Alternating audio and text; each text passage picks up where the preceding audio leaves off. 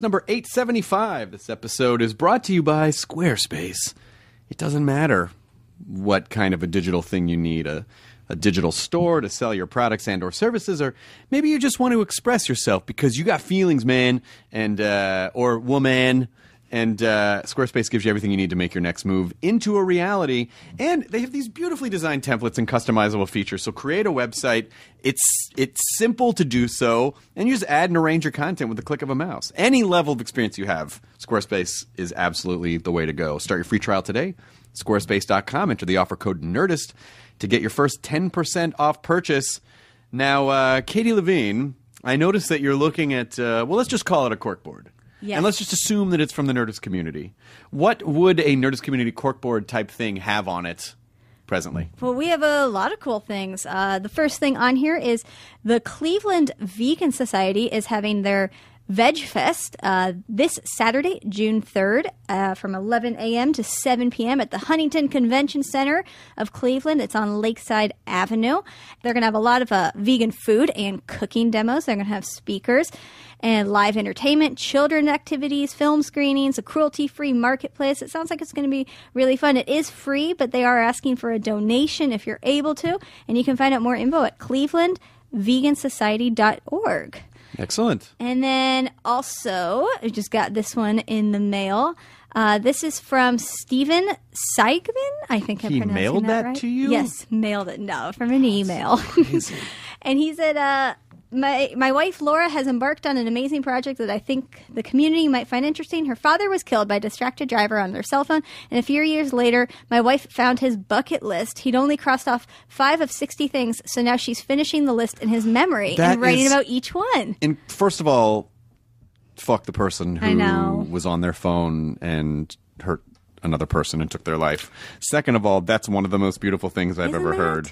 That is one of the most beautiful things And I've so you can look at and see what she's doing and writing about at myfatherslist.com. Oh my god, how can you not just start crying? I mean, know. that's so that's that is incredible. And I that sweet? Yes. Holy shit. I don't even know what to say after that. I mean, that is what what are their names? Uh, Stephen and Laura. Stephen and Laura, I love you so fucking much that, that you're doing this, Laura. Thank you. I'm. It's it's a horrible, horrible, horrible thing that happened. But the fact that you're that you're taking this tragedy and turning into something positive and beautiful to expand your horizons and live out through your father's uh, wish list, bucket list is is it's, it's just stunning. It's a stunning thing to do. Yeah. So check it out and see Is there what, what, what can people do? Is there anything? I mean, she's just writing about ju- so just so yeah, just- so just go to myfatherslist.com and you can see what she's doing and, and she's writing about each experience. Well, this episode of the podcast is Wayne Coyne of, of the Flaming Lips. Uh, he's promoting their new album, Oczy Mlody or Oczy Mlody or Oczy Mlody or Oczy Mlody. We talk. we we kind of. He says it's open to interpretation. Yeah. but he explains in the podcast how he hears it. But the album is fucking fantastic, uh, and Wayne was super cool. And uh, and I, I mean, I had never met, I had never met Wayne or any or any of the Lips, and uh, but it was he was absolutely delightful. Also, the band is touring the United States and Europe all summer long, so you should look it up, go see them. Their live shows are great, and uh, and support support a flaming lip near you. this episode also brought to you by Blue Apron. Uh, springtime, you know, hit the reset button, retackle those personal goals like getting fit, cleaning up, cleaning up your lifestyle, cooking even. Uh, Blue Apron makes incredible home cooking easy and accessible by delivering seasonal recipes with step-by-step instructions and pre-portioned ingredients right to your door, all for less than ten dollars a meal. I I got this for my mom. I've gotten it for other family members. They absolutely love it because my mom loves to.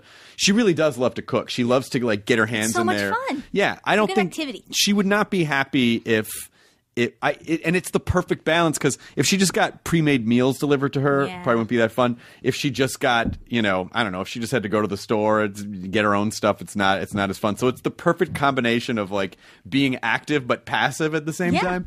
So uh, again, all for less than ten bucks per meal. You can customize recipes based on preference. Select a delivery option that is right for you. There's no weekly commitment. You only get deliveries when you want them. So just in June, just for example, warm smoked trout, asparagus salad, fingerling potatoes, garlic croutons, spiced zucchini enchiladas with creamy lime and tomato rice.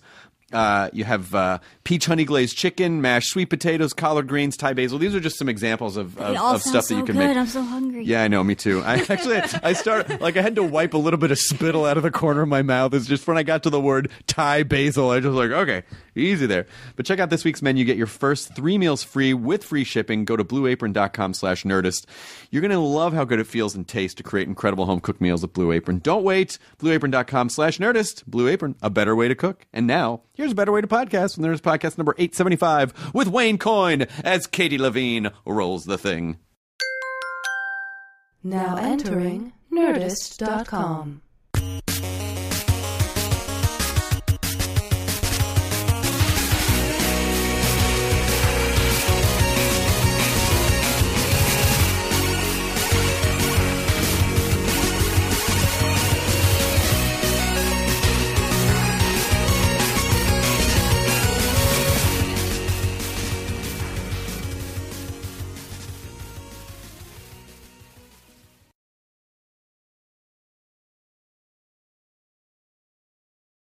Welcome. All right. Does this place always look like this? It does. Yeah, this is my my dressing room office is through that door, and so I took go over the space and Oh, I see. and sort of I, I'll show you when we're done. But it's Yeah. uh, yeah, it all it all kind of looks like this. Is this like stuff that you've just collected over your over the years? Yes, and it's it's. I really wish I could fit more of it in here because I'm Oh, I'm just running I'm I'm running out of space for all my fucking toys. And my wife is awesome, so she keeps like she she just orders stuff. Goes here, I got you like this Jabba the Hutt. I got you this Jabba, and I go that's really great. There's we don't have any room. Please. No, I know that's what everybody. That's I know that's that's the dilemma. It's like the world of plastic toys is like, well, where do you put it? I never thought I'd be in a space where I married someone who actually understood the things I liked, and I got to a point where I was like, "You got to stop! I don't know where I'm going to put all this stuff anymore." When we're done, can you call my wife for me because my son's Star Wars collection is squeezing us out of the, the house. Well, that's fair though. Less understanding. Is it is it all original action figures and stuff, or what does he Liz collect? Keeps it in the box. Yep. And the whole room looks like a Star Wars toy store. You know, the crazy thing now is that the, the, the idea of whether or not to take something out of the box is, is so because when at, at that time people didn't really think about that, and so it things were more limited. But now everyone people make things with the idea of like, oh, you're going. This is a collector's thing. So I wonder if that makes it less special somehow now. So people buy two. They just buy two. Yeah. I think it does make it slightly less. well, you know, you, you could be right, but everyone we still know, the really hardcore collectors buy two. I mean, I I I I, I spy that vintage looking Star Trek shirt underneath your jacket. So I I, got it at Target. you did. Do you think that's good or bad? I think it's awesome. I do too. because otherwise you're buying it from, you know, like the StarTrek.com, and it just, you know, the idea that you can buy it at Target, I think is a great. It's nice that this. Well, and it that- looks vintage. It's kind of got the does. yeah, you know. It's nice that it's Yeah. nice that it's culturally acceptable now. Do you collect anything, Wayne? I, I I don't think I do, but I mean, I, yeah, those shoes and are now we're just insane. talking because I collect sneakers and those are pretty great. Yeah, these are the uh, SB line. I, I all I do is collect. Well, I don't collect sneakers. No, you do. You and you got me the, the, these, but I think the the purple iridescent thing is. Those are some almost Back to the Future two looking shoes Yeah. that you got that you're rocking Yeah. there. No one can afford the real Back to the Future shoes. They're, they're like t- ten grand or twenty grand. 16 Oh, they're grand. sixteen grand or something crazy like that. I got some of the I got some of the the limited edition Nikes that for for Alien from Alien when she wore those. Oh, Yeah, those are nice. I got some of those. But Wayne also Wayne, Wayne's rocking some pretty nice Well, lavender. but no, Rick got me these. See, he got me these. they look good though. They're very cozy for sure. I, I, I like them. So you said you didn't col- you don't collect anything? I don't think so. See, but I, I maybe maybe I'm wrong. I don't think so. for I think we started to collect things like you know even like things like that that you think man that's just cool and then you you get a lot of them and you don't know where to put them after a while. But I would imagine in uh, do you still live in Oklahoma? Yeah, yeah. mhm. So you, Yeah. you, you you probably have quite a compound in Oklahoma, I would imagine. Well, yeah, yeah, and we do have a lot of stuff, but it's not. I know. I think we've we've.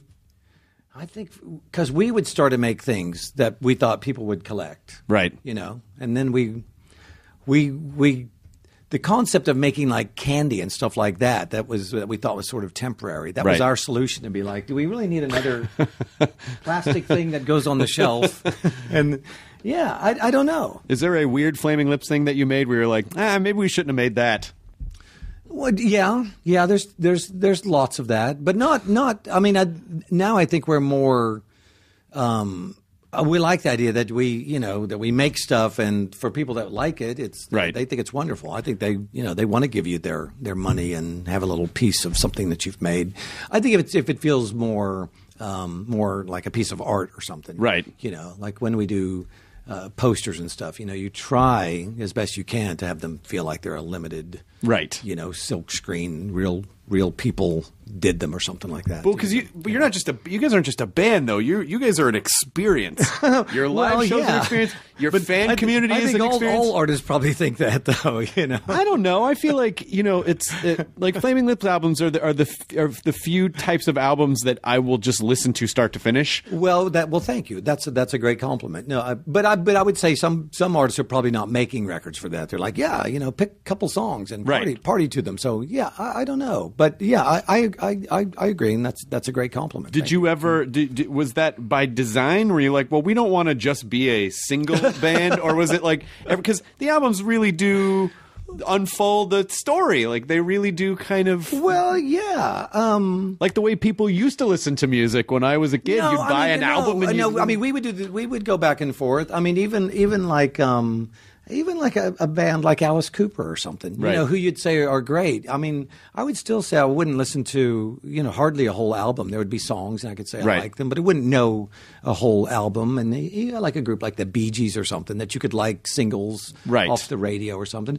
Even David Bowie. You know, there's a few of his albums that are you know that you would know the whole album, but there's quite a few of his albums that you just know a, a couple of the songs. And Right. it's David Bowie. Right. So yeah, I, I think it can go all over the place. You know, I think the Rolling Stones maybe even could be like that. You know, where I wouldn't know every song on even their biggest albums, right? You know? Well, yeah, I mean, because I think some. I mean, I understand the idea of like, okay, we are assembling songs and go, okay, these songs all make sense together, but that's different than, you know, especially something like Yoshimi, where you go, okay, you start you start at the beginning and then there, there's a story by the end, and you can no, listen to the whole no, thing. No, I agree. I just, I, I just sometimes have a hard time saying I think one is better than the other. It's Right. sort of like you know, I mean, I think some some artists. I, I think what the difference is is they feel like I'm just I'm a singer, and then you get to hear me sing. It doesn't really matter what the song Right. is or what all the other stuff is about.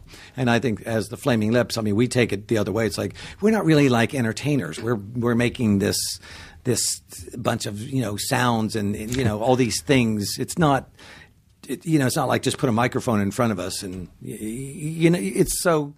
Yeah, that, I think that's probably the difference. You know, Mick Jagger probably thinks, well, you just want to. Of course, you want to hear Mick Jagger. It doesn't really matter what song I'm doing, Right. You know, whereas it would, it would be the opposite with us. It's like I don't, I'm not sure you really want to hear us. It's everything that we've made up, or you know, it's all a, a construct. To right. of- yeah. So, Did you ever see the mm-hmm. Tubes perform?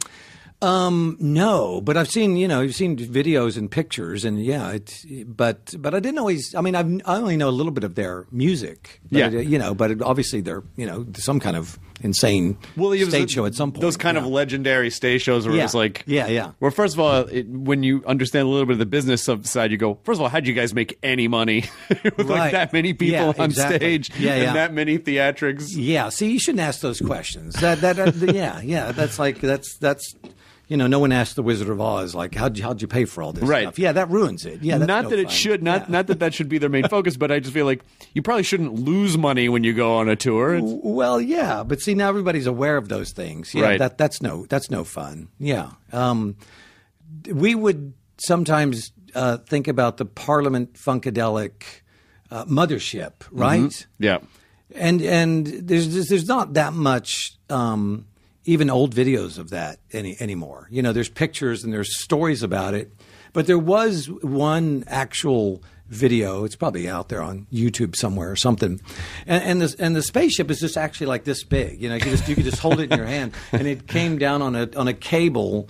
Um, you know, like somewhere over the audience for just a moment and it sort of went on a cable, and then they just appeared on stage, you know. And Yeah. but the idea, like you'd see a spaceship, You just see a photo of it, and you wouldn't know how big it is, and then they're all dressed up like you know crazy, you know, like they came from outer space, whatever, and you would never think about it. But like, yeah, nowadays there would just be too much evidence of like right. look how little it actually is 20,000 yeah. pictures on Yeah. Instagram. This doesn't this doesn't work. Look how little it is and all that. But um, yeah, so it, it is diff- more difficult nowadays to to you know to have the mystery be compelling because right. everybody wants to know uh, how's how's it made now. You know, I mean that's how how are things done. Right. That's that's part of the cool world we live in is you get to find out. I mean, it used to be. I mean, we would we would ask the question, how do they put the M on the M and M's? Mm-hmm.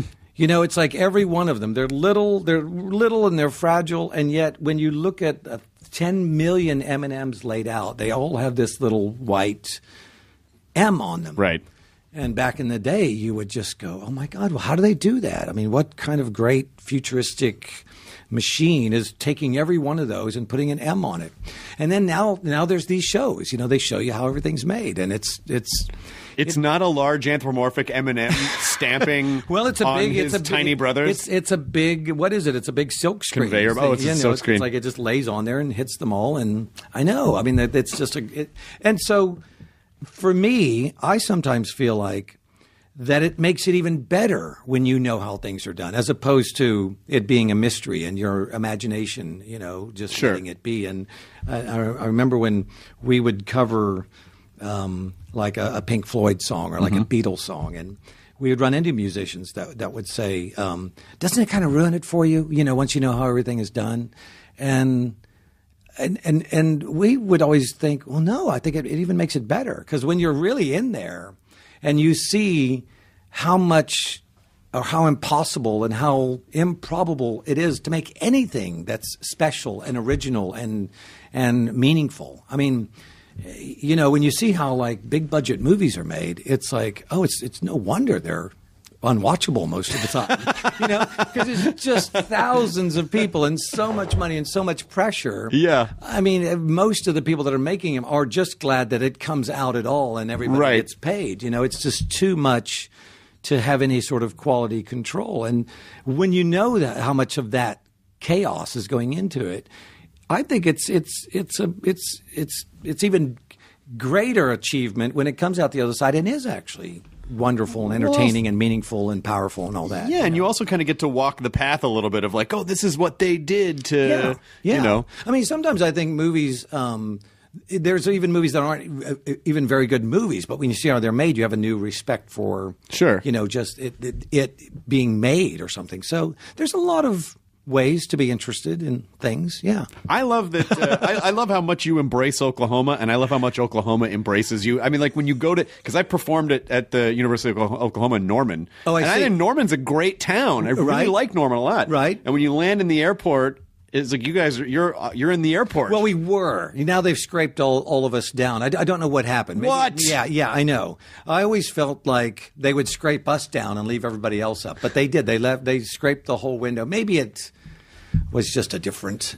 Yeah, I may, I, actually, I think you- quite a few of the people that were on the window died while the window was up. So yeah, maybe it started to seem, it started to seem like A death fore- window? Yeah, a fore a foreshadowing of what was to come. they were Yeah. saving your life, is what they were doing. Yeah, if you stayed on the window, you were going to die a, a, a, a, a sad, untimely, you know. Uh, but no, that didn't happen. I'm still here. Yeah. Well, that's good. Yeah, yeah, I, I yeah, wonder if it's, yeah. it, it, they, it would be, but that'd be that'd be a great movie, though, wouldn't it? Yeah, the the death window. It'd be like yeah, it'd be like. Death Note, but it's a window, and if you're on the window, then you're going to Yeah. die. You're Yeah. absolutely going to Yeah. die. Yeah. Did you ever? But no, I'm see. I feel like it- it- Oklahoma has really made that part of my character uh, made me aware of it. You know, I think Oklahoma's done more for me than I've done for it at all. I mean, having this this identity, you know, that I probably early on would have wouldn't have even known what. Um, you know what being from Oklahoma would mean.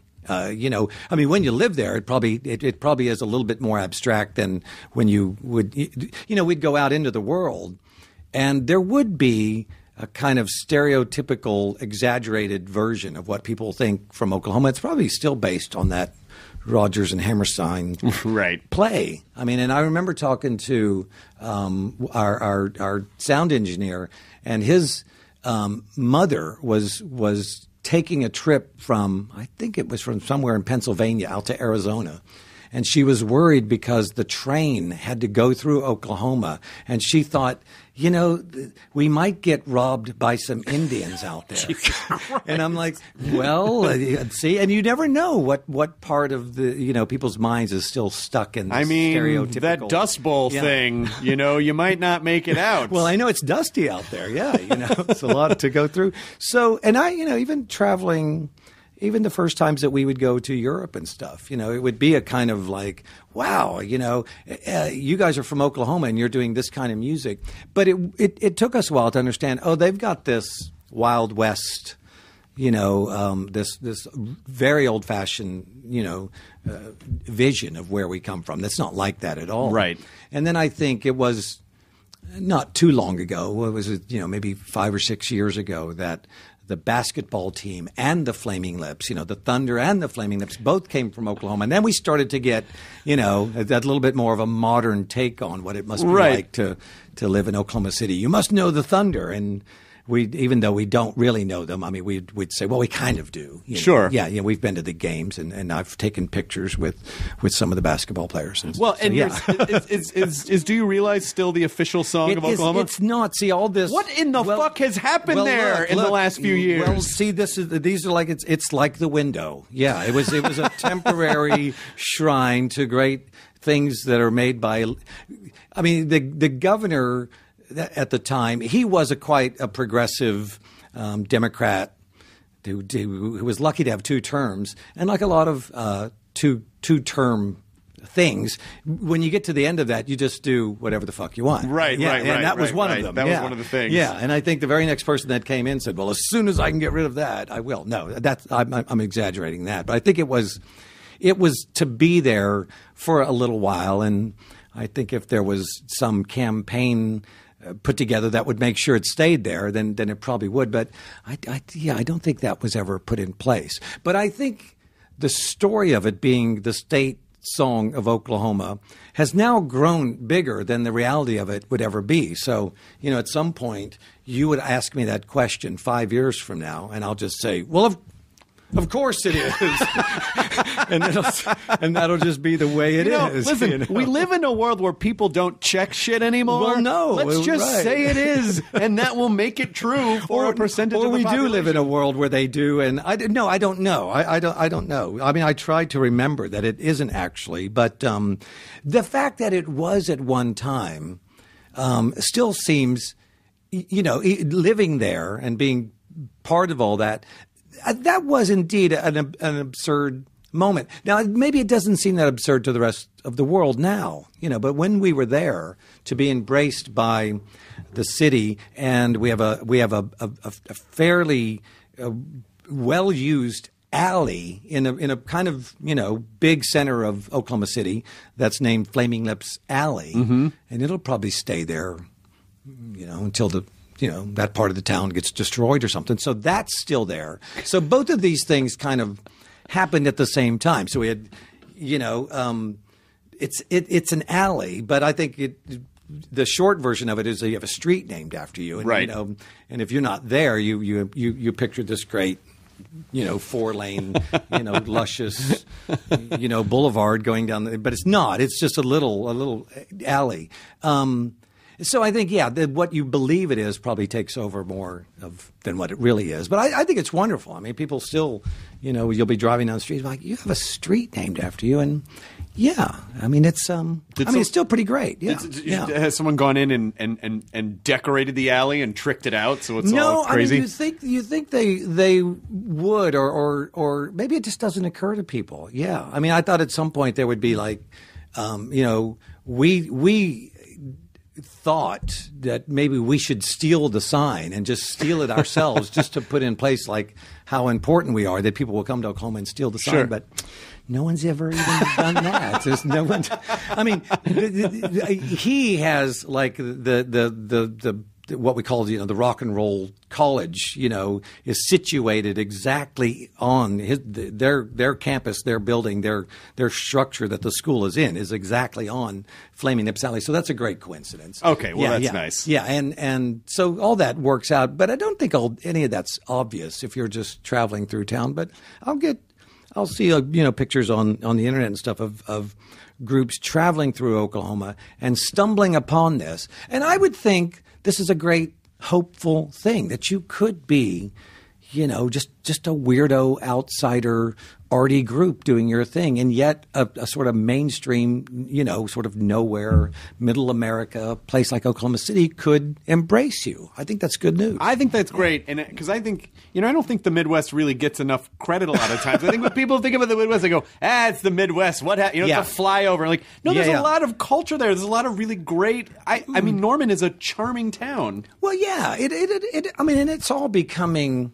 I mean, for better, for worse, it's all becoming a little bit more generic. You know, everywhere you go is is sort of becoming. Yes. You know, a little bit more. There's your the same- Target, there's your Applebee's, Starbucks, there's and- your yeah, Starbucks, Yeah, yeah, there's yeah. your- yeah, Which. I think is better. You know, um, it, it, I think it makes it a little bit less stressful or or whatever to go and visit places. Sure. Um, you know, you kind of know. Oh, there's the, a bit of it's all familiar to me, and some of it's not. And, I mean, I yeah, do, I do. you know. When people do get mad at me when I go to towns and I go, "Where's the?" You know, I got to find the Starbucks. Why don't you drink local? I go because I just need a consistent experience, and I travel so much that it, that, that's, it very exactly. helpful for me. I know. I that's it exactly because I'm I'm always doing that. I go to the to the front desk of the hotel and say, "Where's there a Starbucks?" And they.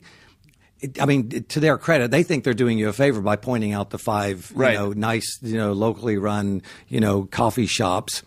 But I'm like you. It's like I don't go. I'm not going in there to read the paper or to get on the internet, and, and I'm I want coffee now. I want a, I want a up- Yeah. predictable experience, so and I want can it do what I fast. need to do. Yeah, yeah. exactly. This is entertainment for me, and I and I know, and and and maybe we've. I know maybe we've taken something away from that, you know, that it that it should be like, oh, this is the coffee shop in this town, and we should Right. just, you know, s- relax and you know. But you still got to. yeah. But when you got, you know, I always Yeah. think about it this way. I go, well, I'm there to do a job. My job, it, Yeah. you know, comes first when I'm there. Yeah, and yeah. I have a, you know, like it helps me. Not like it. I just it helps control my experience so that I do a good job. when no, I know. I think this is this is a secret code of something that we we shouldn't talk about because I know it makes us look like these old guys who have to have the same breakfast every everywhere we go. Yeah, instead of instead of uh, loving the new experience, we're like no. That's- but um, but no, I I, I uh, totally agree. Yeah. On Yeah. vacation, I will try the new experiences, but when I'm there to work, Well, I as soon as you get your coffee, everything changes. Yeah, it's that first cup of coffee that you really you don't want there to be a lot of fuss or No, of- yeah. no. I mean, I sometimes will go into the Starbucks, um, and I'll forget that there's a lot of a lot of people there that would you know they they know me or they'd recognize me. Um, but they're also jacked up on coffee, Right. You know, so it usually could just be like, "Hey Wayne, how you doing?" It's like, "Hey Wayne," and then let me tell you my whole life story, Right. While you're waiting to get your Right, coffee. right, right. Yeah, yeah. I mean, there, there's also the other um, uh, f- physiological part of it, which is if I try something new and it doesn't sit well in my stomach, Oh. I can't have diarrhea on stage. There's right. just no time for right. fucking around with right. that. No, Like, that, that that's a need- ser- that's a serious dilemma. It really is. Yeah, yeah. Because that, that have you had that? I've never, I've never had it, but I've been. I've, I've had been it, but I've not. But I've not had it happen. I mean, No. I've had it, but it's all stayed. I, I did have Yeah. I, I did have a thing once where I, don't I ate some, I ate some I ate too much food before I was performing and I didn't feel right but I but I didn't have time to uh, evacuate the the area and uh, and I went on stage and this is gross and I apologize to Katie and Debbie in this room like 10 minutes into the set a small silent fart leaked out on stage and I spent the next 45 minutes going did I shit my pants? Well, you and what's going to happen? Not I in- not- not stage? outwardly, but it- secretly. Secretly, Yeah, so yeah. that was just living in the back of my brain Yeah, during the entire set and going, sure, yeah. Should I not get too close to? I don't know. You know, No, you shouldn't. can't always smell yourself. So Right, I right. just didn't. And th- thankfully, the answer was no. That did not happen. Right, But I thought about it the entire time. Of course, yeah, yeah, yeah. That's uh, that's a that's a modern that's a modern dilemma. There's not that many dilemmas anymore, but that would be that would be one. There's not that often. What about you? What was yours? Well, nothing happened. I mean, I, I knew it was it was a rumble in the jungle, you know, Right. And and but I kind of feel like there's some some uh, mechanism that allows you to be in this. It's Adrenaline, probably. yeah, it, it must be because I mean, I, I've I've noticed this when you're when you do talk shows and stuff. People don't sneeze on TV. I mean, you would think as much as sneezing happens just all the time Mm-hmm. that you would there would be a certain amount of like oh yeah I remember when they you know someone sneezed and and, and whatever but it just doesn't really happen you know and I wondered like there must be some things that are shutting down when the adrenaline is Just to focus. yeah that you that you are able to rise above it I remember watching um, when we did Lollapalooza uh, back in in the, in the early '90s, it was a traveling uh, show, so you'd go from city to city, um, and we got to be friends with uh, Nick Cave and the Bad Seeds, and they would play early in the day, we'd play later in the day, so we'd we'd get some coffee and stuff, and we'd go watch the you know the groups play, and I remember the one day. Uh, of all people, you know, you think of, of, of Nick as this kind of this dignified, you know, very cool at all costs, this very cool entertainer. And I remember him standing there, and he was talking about like that he really was was afraid that he was going to go out there and really go for the "Ugh," and it was and I, I remember watching him I remember him kind of watching him it was he was he would clench his you know his, his butt a little bit and and and he, but but he got through it. He got through it. he did. And See- we and we talked about that. We talked about how how there, there is some mechanism that is really still with you. It's not just I gotta say, as, as as an argument for going to see live shows, knowing that creates a whole other dimension. There's like a tightrope walk. Like, is he gonna?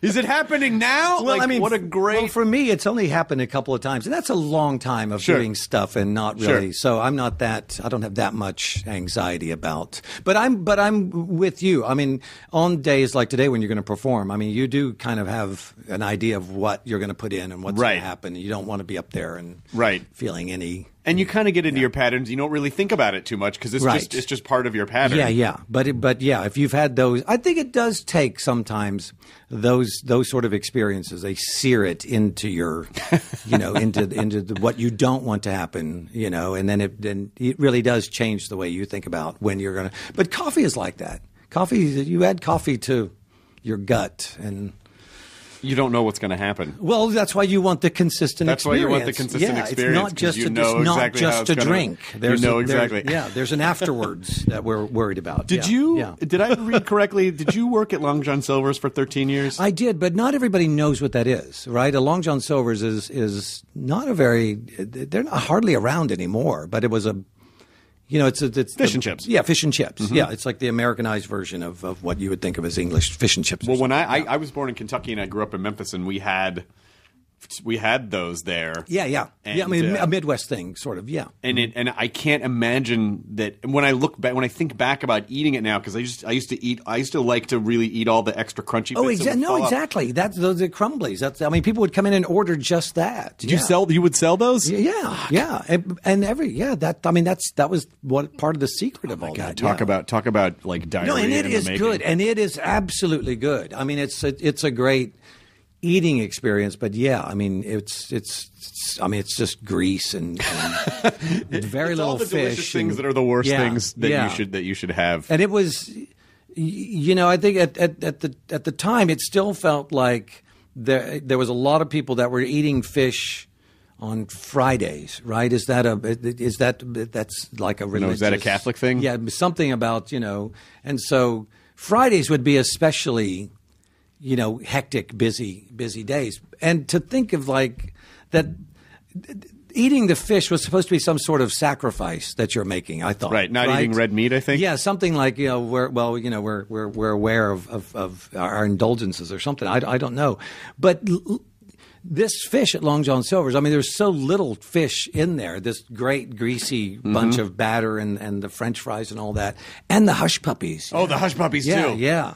I mean, and the coleslaw, everything about it was just an outrageously, um, you know, the, the, the, the, the coleslaw with its, with its dressing and all that. It's just amazing. Yeah. And I worked there for a long, long time and I, and I loved it. I mean, I loved, you know, the food and I loved working there and, you know, had a lot of great experiences, but never, I didn't realize that how unhealthy it really was. You know, I love I mean, I think back then everything there wasn't that much. You know, this was I, was- I started there in 1977, so long, long time ago. Back, you know, at the when when when uh, fast food was just People didn't really worry about. no, it Health. was just faster than other food. It was faster yeah. and and fattier and more delicious, and you could get it into your body quicker. But I love the Yeah. idea that that that was that there's a religious movement behind Long John Silver's. Like, did did did did the Lord say go forth and let your John Silvers be long? Was there some sort of a Well, yeah. religious? Yeah, I know. I remember that. And then, and then during,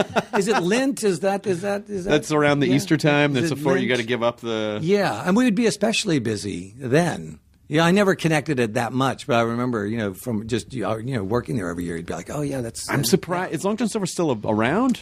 It is still around. It I see. but I see the but head I see it now. It, it's like it's connected to like you know a Kentucky Fried Chicken and an A and W and a Long John Silver's. They'll all be in the same thing. I'm know. surprised there's not some sort. I'm surprised they haven't approached you and said, "Let's do a flaming lips box with spicy fish." And oh, I just I just see their e- your ears just went up. Your manager, is like manager, listen, oh, oh, I think got you. about it. The spicy is flaming. The Yeah, flaming yeah. lips, yeah, the flaming lips I- box. I like it. And I then like there's it. there's fun flaming lips toys inside. I, I agree. I like. oh my I like god, this. this is. yeah, I like this. He literally just did the. He just put the. He did. the, the, that hand Yeah. on the chin Yeah. in, a, in a contemplative yeah. chin stroke. Yeah. More worry. It's more it's more worry about that. Okay. All right. Listen, if you don't want a billion dollars, which that would make, uh, clearly. Uh, but I but I love the fact that you loved working at Long John Silver's because that was so if you started in 77, 13 years, 1990. That well, I mean, well, when I was 16, you know, that was the, the year I was, you know, turned 16, and uh, back then that was the year you could start to have a job. You know. Yeah, was- but that means you worked there till you were 33 uh, at 30. Yeah, yeah. And- I mean, and- it was you know we got signed to Warner Brothers uh, probably in the late of 1990, and still worked there. Not very much, but was still working there. You know, even through some of that. Yeah. But but the early flaming like the early iteration of the band, you were working at Long John Silver's. Oh yeah, the whole time. Yeah, yeah. And and and I mean, and they they wanted me to be an assistant manager and all this stuff, but I didn't I didn't really want to because it just took up too much time. And by the end of it, I would have six weeks of paid vacation every year. You know, Sure. to be a touring to go out on tour and do all that and still get your eighty dollars a week from Long John Silver's. yeah, you know. But I think it really it really it, it really worked for me, you know, because I didn't want to. I didn't really want a serious job that took, you know, a lot, a lot of time and a lot of responsibility. Um, that, I probably wouldn't have been very good at it anyway. And this was the type of job that within the first two weeks you've got this thing. You know, it's a, it's a, it's, it's kind of mindless work in a way once you know, you know, the routines of it. And yeah, I, I it, it really worked for me because it, I, you know, it, it, it made me enough uh, money that I could sort of live. And a pirate costume. It- well, yeah, You know, yeah, year yeah. round. You could you could be I a mean, pirate. funny now. I do. I do occasionally wear an eye patch on stage, but I. yeah. Shout out to your roots. Well, I, it, it and plus it just looks cool on an old guy. You know, you know, you just look tougher or something. But yeah, I, I think it's funny how all those things they do connect. You know, it's like that's the that's the wonder of the subconscious. You know, you think it's you doing it with your with your conscious mind up here, and there's all these things working below the surface that you just get to have for Yeah. better or for worse. But I, I also I also love that you know because you referred to your uh, to your band as like oh we're this arty band and we got this mainstream thing. But I love that you're not snobby about any of it. Where you're like hey that's kind of cool. Like you embrace.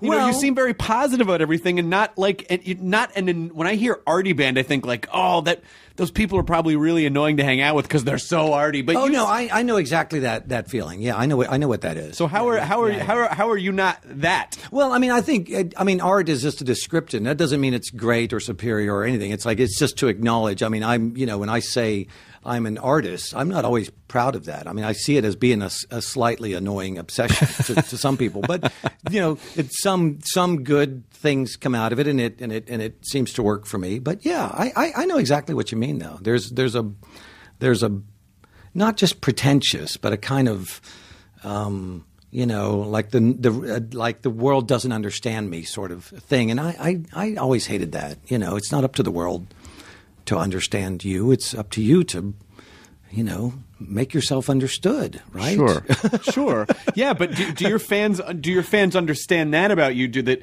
Are, do you have the type of relationship with them where anything you do, they go, "Oh yeah," because you know. Well, I think some of them, yeah, but I mean, we don't. We're we're not. We're not playing to millions and millions of normal housewives either. You Right. know, I mean, we're we're you know a lot of times we are playing to, you know, the the kind of. You know the the freakiest of the the freaks out there, Right, right. Which we want, you know, and they're musicians and they're artists and they're you know doing their own thing as well. So, I mean, uh, most most groups have an element of that, you know, that the the people that really love you, they uh, they're kind of doing what you're doing, you know, they they understand it, yeah. I mean, did they? So when you are start collaborating with Miley Cyrus, are they are they going? Yeah, because that's what a- they do. Or they go, well, what is this? Well, I think there's a, there's the, the I mean because we've been doing it for uh, a couple of years now. There are I see there are segments of our audience. You know, um, there'd be one segment of our audience that's older that wouldn't really know. Um, Miley Cyrus. They wouldn't really know even who she is, and they would probably think, "Well, if the Flaming Lips like her, I like her, and Sure. it doesn't matter." And then there'd be this middle audience that's just old enough and young enough to know who she is and probably know her from uh, more than Hannah Montana than anything else. Right. And would think, oh my God, this is, why is this? You know, or the flame, the Flaming is trying to go, you know, in, in this commercial way or this Walt Disney world. What is this? And uh, they're probably the, the ones that were the most confused and the most anti. Uh, Miley Flaming Lips, you know. And then you've got, you know, the segment that's young that kind of knows Miley from being more of like the twerking and stuff like Right. that than from anything else. And they think it's it's fun and radical. And so, you know, so there's you know, the old people that don't know, they love it, and the young people that do know, they love it. There's that area in the middle, and I can understand that. You know, I can understand if you you know, if you grew up in that time where you know you you loved your music and yet you were kind of assailed by the popularity of something like a, a, you know like Miley, you know, you might be annoyed that why are you know why are these guys now joining forces with her? And I think I'm probably more in the old person category where I wouldn't really know that much about her other than the little bits of it that I thought were interesting Sure. starting in 2013. And now as I go back, I get more of an you know an idea of what you know some of the world thinks of her. So it would be it would be kind of a, a crossover of, of all that, yeah.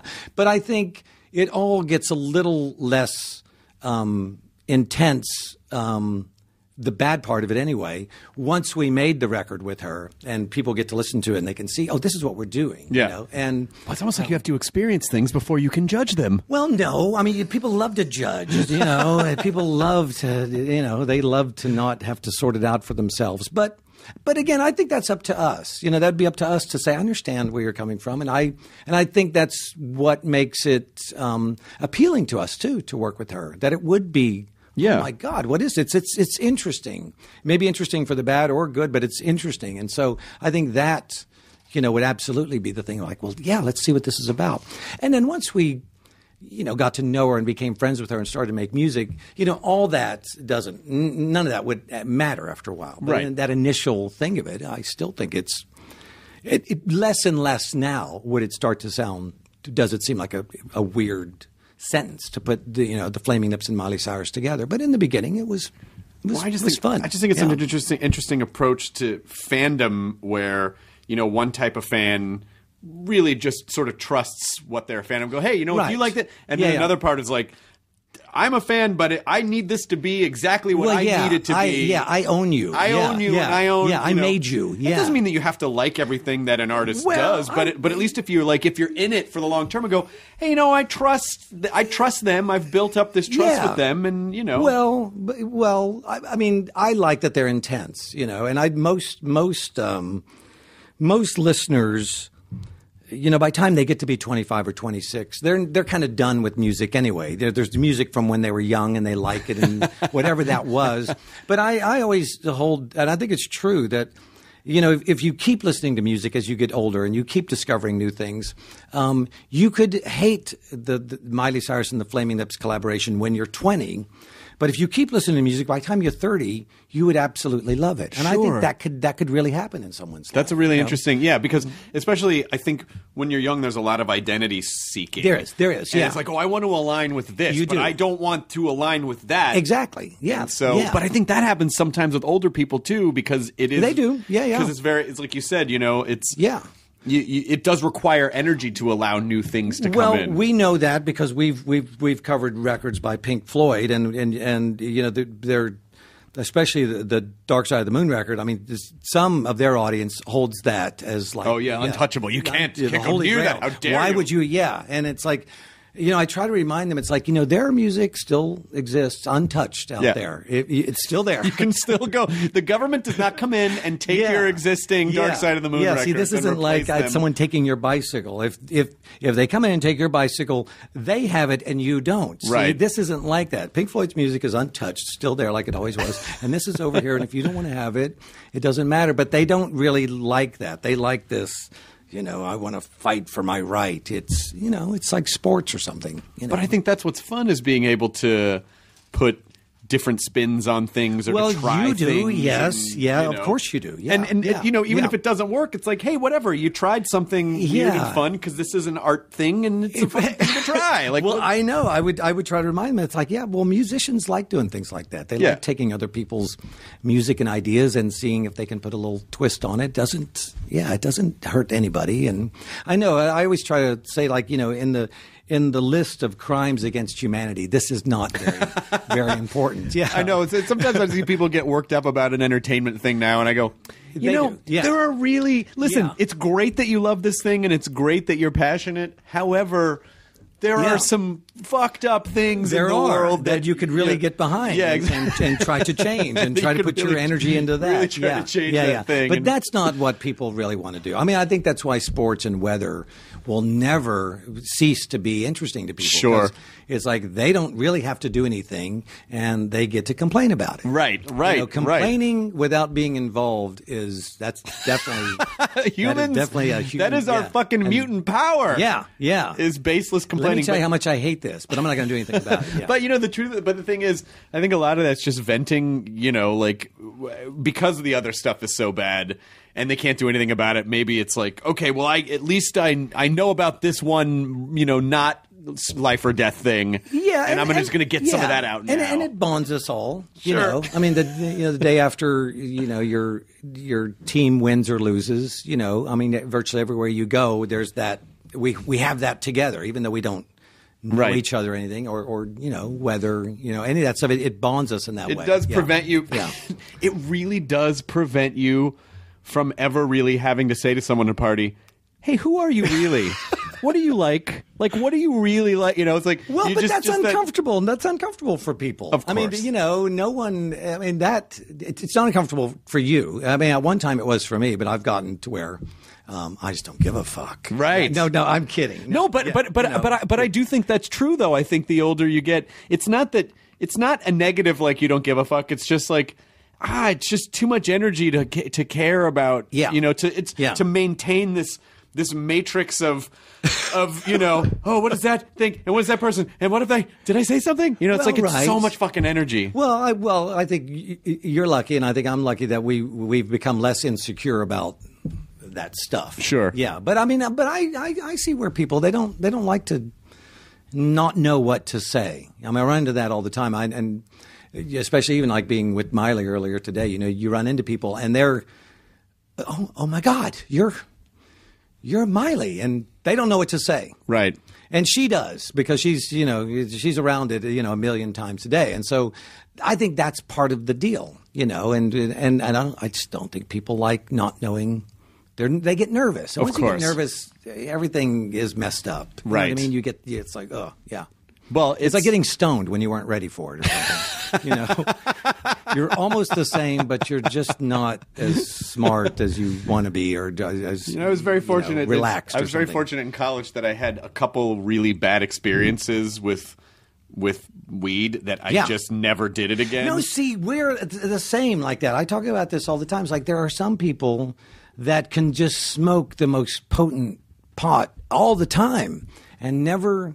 The worst it gets for them is they go, "I'm really stoned." but for me, I was like, "Do I need to go to the hospital?" I'm, That's me. I'm That's- dying. no, that's me. I, I, I, yeah, I would get uh, anxiety. I would. Everything would be magnified. all the bad things would be magnified. yeah, yeah. And then, yeah. but but then real pot smokers go.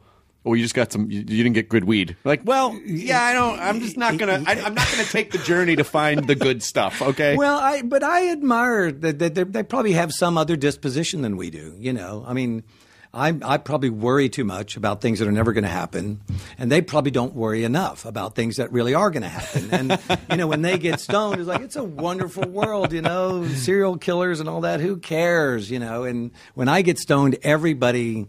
Is a little bit suspect. Everything can happen. Chaos really does rule, and then and I'm scared. And, it doesn't work for me. You're just Yeah. ball up and wait. I just remember balling up and just waiting for it to pass. It doesn't. I know that that's the dilemma. I mean, it's it is funny because it seems like being stoned is uh, you know again it's not that serious, but once you're in that state of mind, you can't get out of it. Nothing you can do gets you out of it. You can't get drunk. You can't Nope. exercise.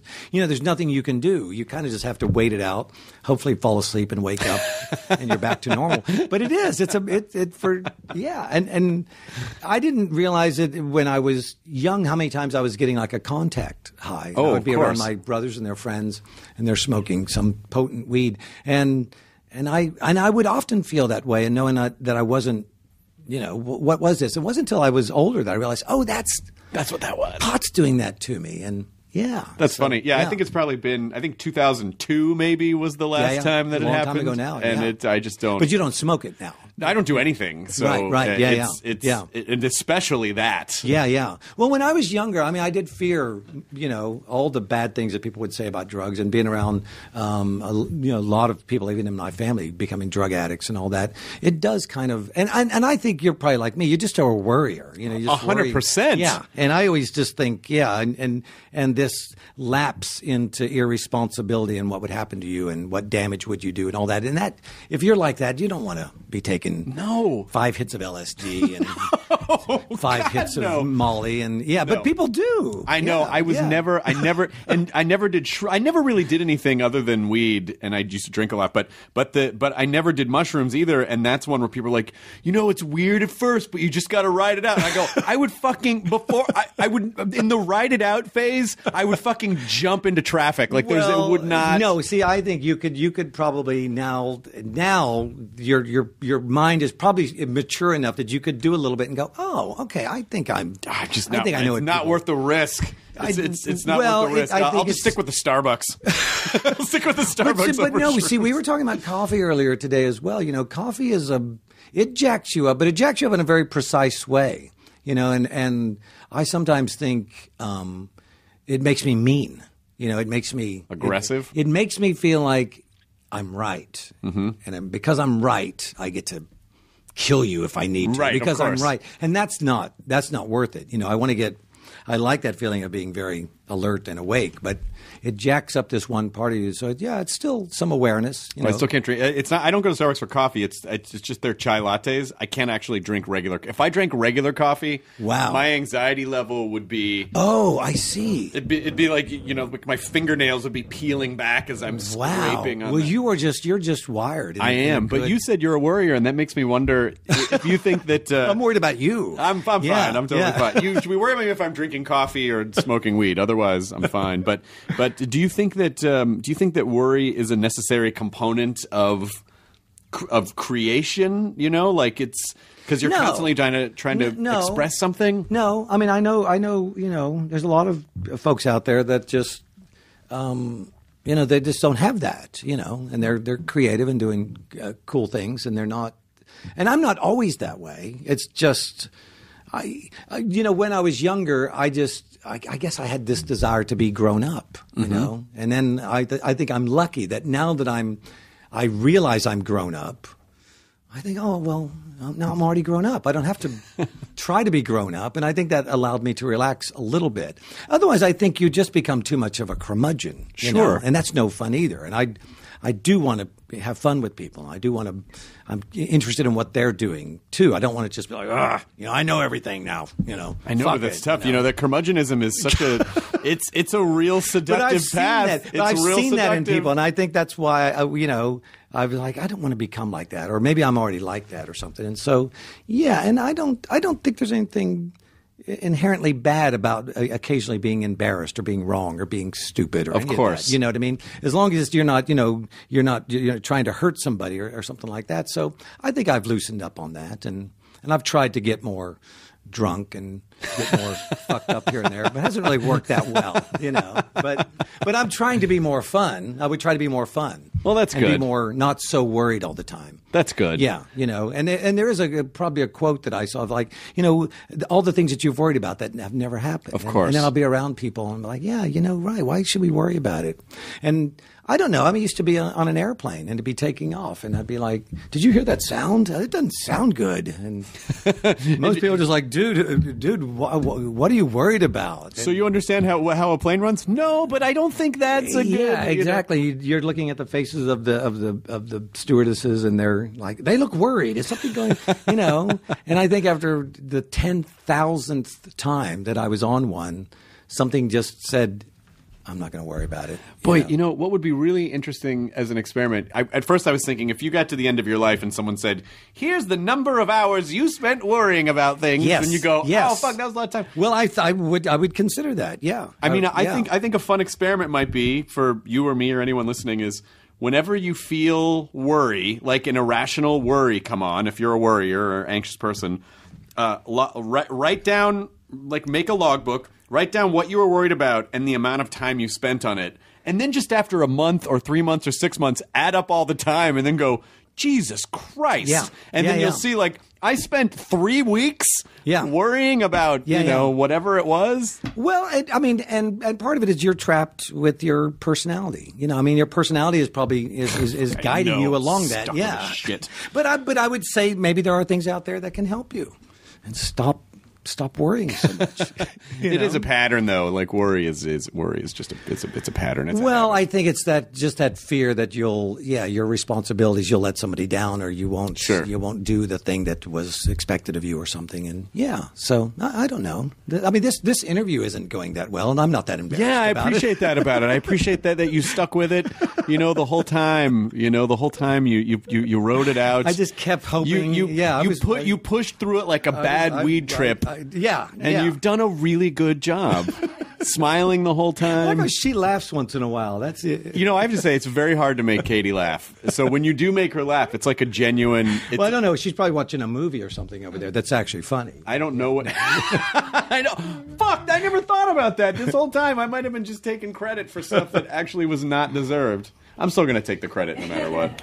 Um, I loved your new album, by the way, Well, thank and you, that is you, definitely one that you can listen to from start to finish. No, I mean we. I made light of that, of that, but I think that is a great, great thing. I mean, I, I absolutely love records like that. That you put it on, and it's not, it's not just songs. It's a mood. It's a feeling. Yes. It's pushing you into this thing, and you can think of it as a story, or you can think of it as just being connected. You know, like someone's connected stuff. You know, and it doesn't just feel like oh, it's just a song and whatever. But yeah, I, I love that, and then to know that other people are getting that same experience out of it, it's just yeah, it's wonderful. So Thank do you, so when you're when you're touring that album, it, is it? Do you play it the way that it's laid out on? No, the, No, no, I mean, I mean, you know, part of us, you know, I think a while back started to just, you know, differentiate between the introverts that want to be in the studio and create music and all that sort of stuff, and the extroverts that have to be on stage and say, "Hey, look at me! You know, Yeah. here we are." You know, and I think everybody struggles with that. I mean, I think we probably because we've been doing it for so long, have had a good long time of kind of the balance of what that that means. And I think we probably have it a little bit easier. I think it must be harder to be an extrovert and to wish to be an extrovert. I mean, an introvert. What I mean, to whereas it's not that difficult to be an introvert and to face, you know, what what it is like the embarrassment or whatever it is about being, you know, the the the the, the show off or whatever. So I think we've gotten better at that. But definitely when we appear on stage, you know, we maybe not all of us to the extent that I'm doing it, but I mean, we all take on the role of like, hello, no, we're here to entertain you. and you're, you're drunk and fucked up, and we are going to help you through all of this tonight with songs that you know and love. And, you know, it's, it's absolutely that level. But And even the fact that you recognize that is is nice because it's again it flies in the face of of the term like you know we're an arty band because it's not just for you. You understand that you're creating a relationship. Well, right, but that you're there within for that, them, too. entertainment can really be the great savior in the end. You know, Right. it's it's not it's not just throwaway, and and I think. When do, I mean we I mean we look at it like we're we're servants you know we're here to serve you you know you came to this thing we're doing this job and we love doing the job and it's and I think it really works in that way. And I think our music works better in that way. I don't think everybody's music probably does. I think there's probably some people you want to go see them and they're absolutely in control and they don't give a fuck about you. I think when when we met Prince um, the fact that we gave him some of our CDs, Scott, our manager, gave his bodyguard some of our CDs. I gave it to Prince. You gave it to oh. Prince I himself. handed it to Oh, there you go. Okay, so he, he hands them to Prince, who absolutely doesn't know who we are and doesn't care, Right. which is even better.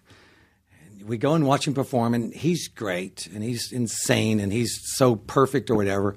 And at the end of the thing, he's given his CDs to the bodyguard or whatever, and the bodyguard comes up and says, Prince doesn't want these. No, no. What he said was, Prince thanks you for this. And hands it back. and so I love that he re-gifted your CDs back to you.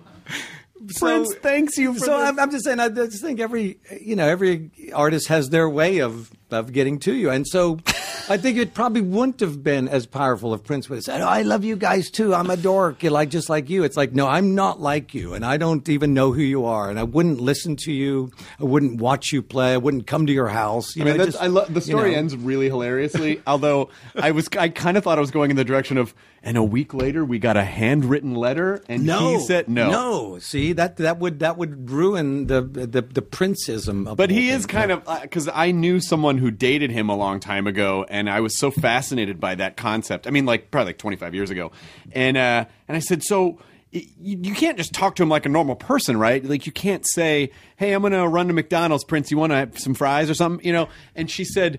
You're not allowed to address him first. He has Well- to talk to you first. And I was like, Oh, wow. Even if you're dating him, you got to do that? wow. Yeah, so he definitely had a very altered Wow. reality. Yeah, I mean, and uh, you know, like not having to date him, I think it's wonderful. I, I just think if you, if you were going down to McDonald's for him after a while, it'd be, it'd be annoying. But um, no, but I mean that that that's the way he chose to present his ideas and his stuff. I think that's amazing. So I mean, I'm saying for us, I don't think it would work. I think the No. idea that we're like, look, we're here to, you know, we're here. We're so glad to be part of this experience with you.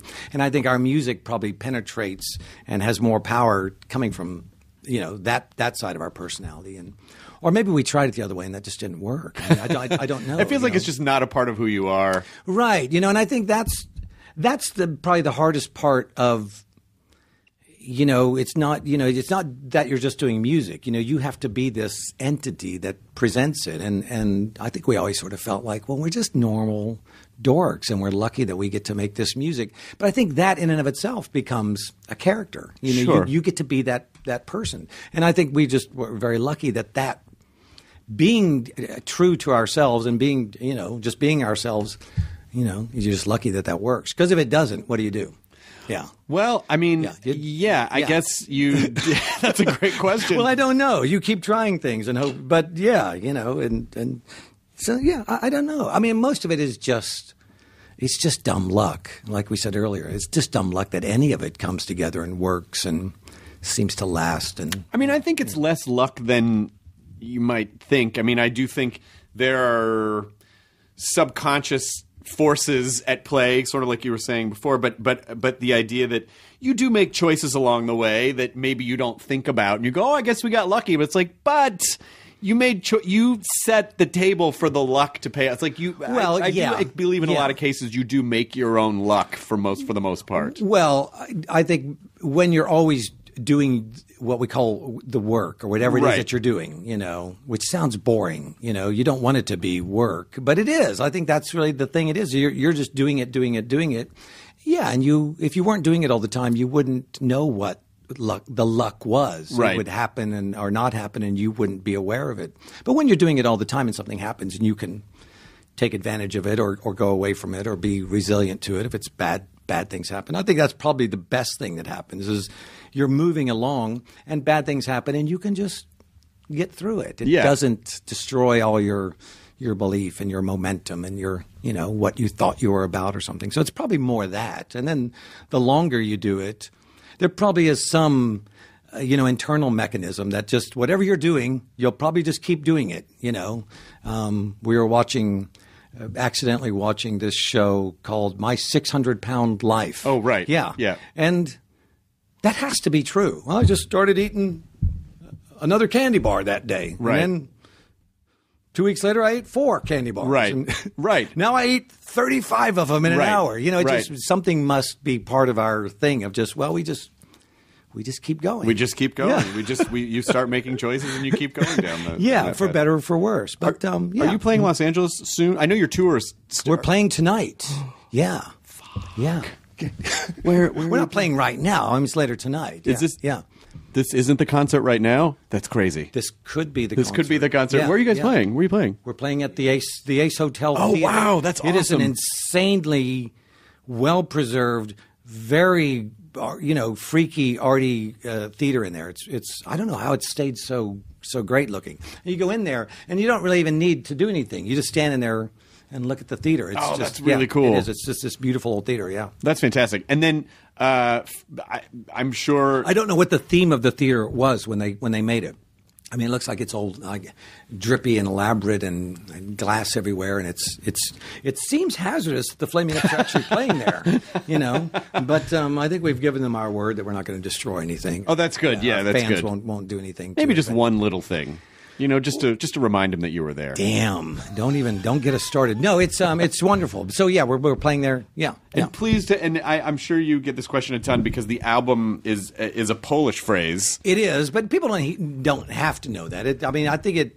Most people say it the way that it looks. If you can, if the the title on the record is kind of, you know, drippy looking or whatever, but it's called. I call it oxymelody. Is that what you were getting at? I, yeah, I just I put the stress on the different. I, I was calling it oxy melody, but Right. but, but melody I like I like yeah. it better. Well, melody, yeah, it's like it's, it's like melody, but it just doesn't have the e. Doesn't have the E in it, yeah. Melody, yeah. and and I, you know, we struggle with titles as as everybody does. It's like, what do you call these things? You know, and if you don't already have.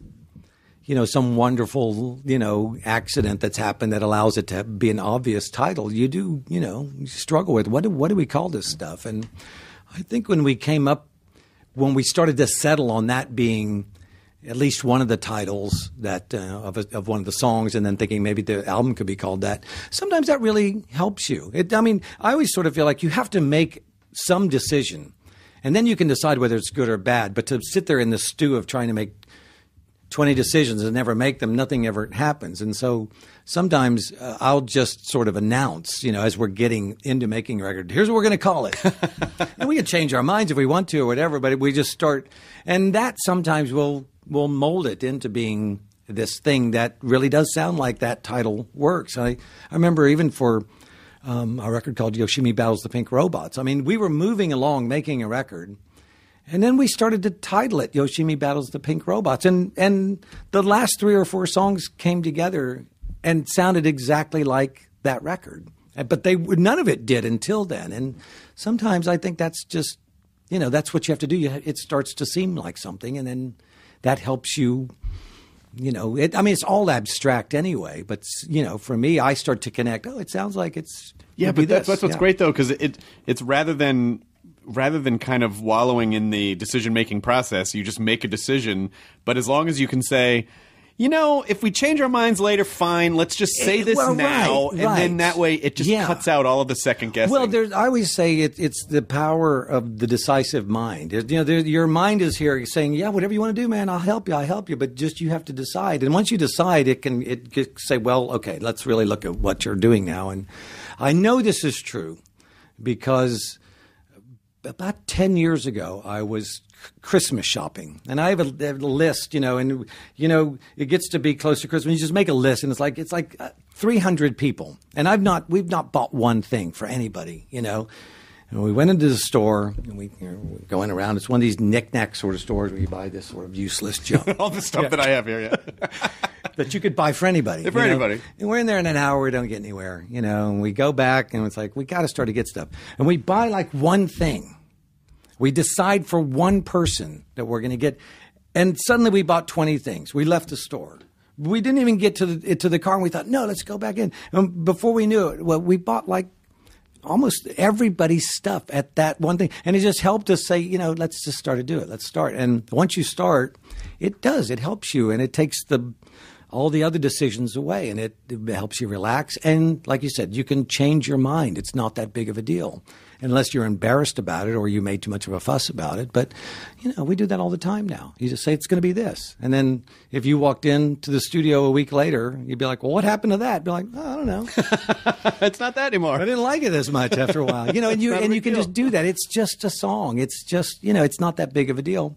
And we do that all the time. Sometimes we change our mind five or six times and say, "Well, here it is." Yeah, you know, and you don't know when it's right. Who knows? I mean, there's there's some kind of you know lie about art that you just intuitively know. It's like no, you don't you don't know anything. You know, you just hope that something happens, and you hear it as if someone else was doing it instead of you doing it. Because when you know you're doing it, it just doesn't feel.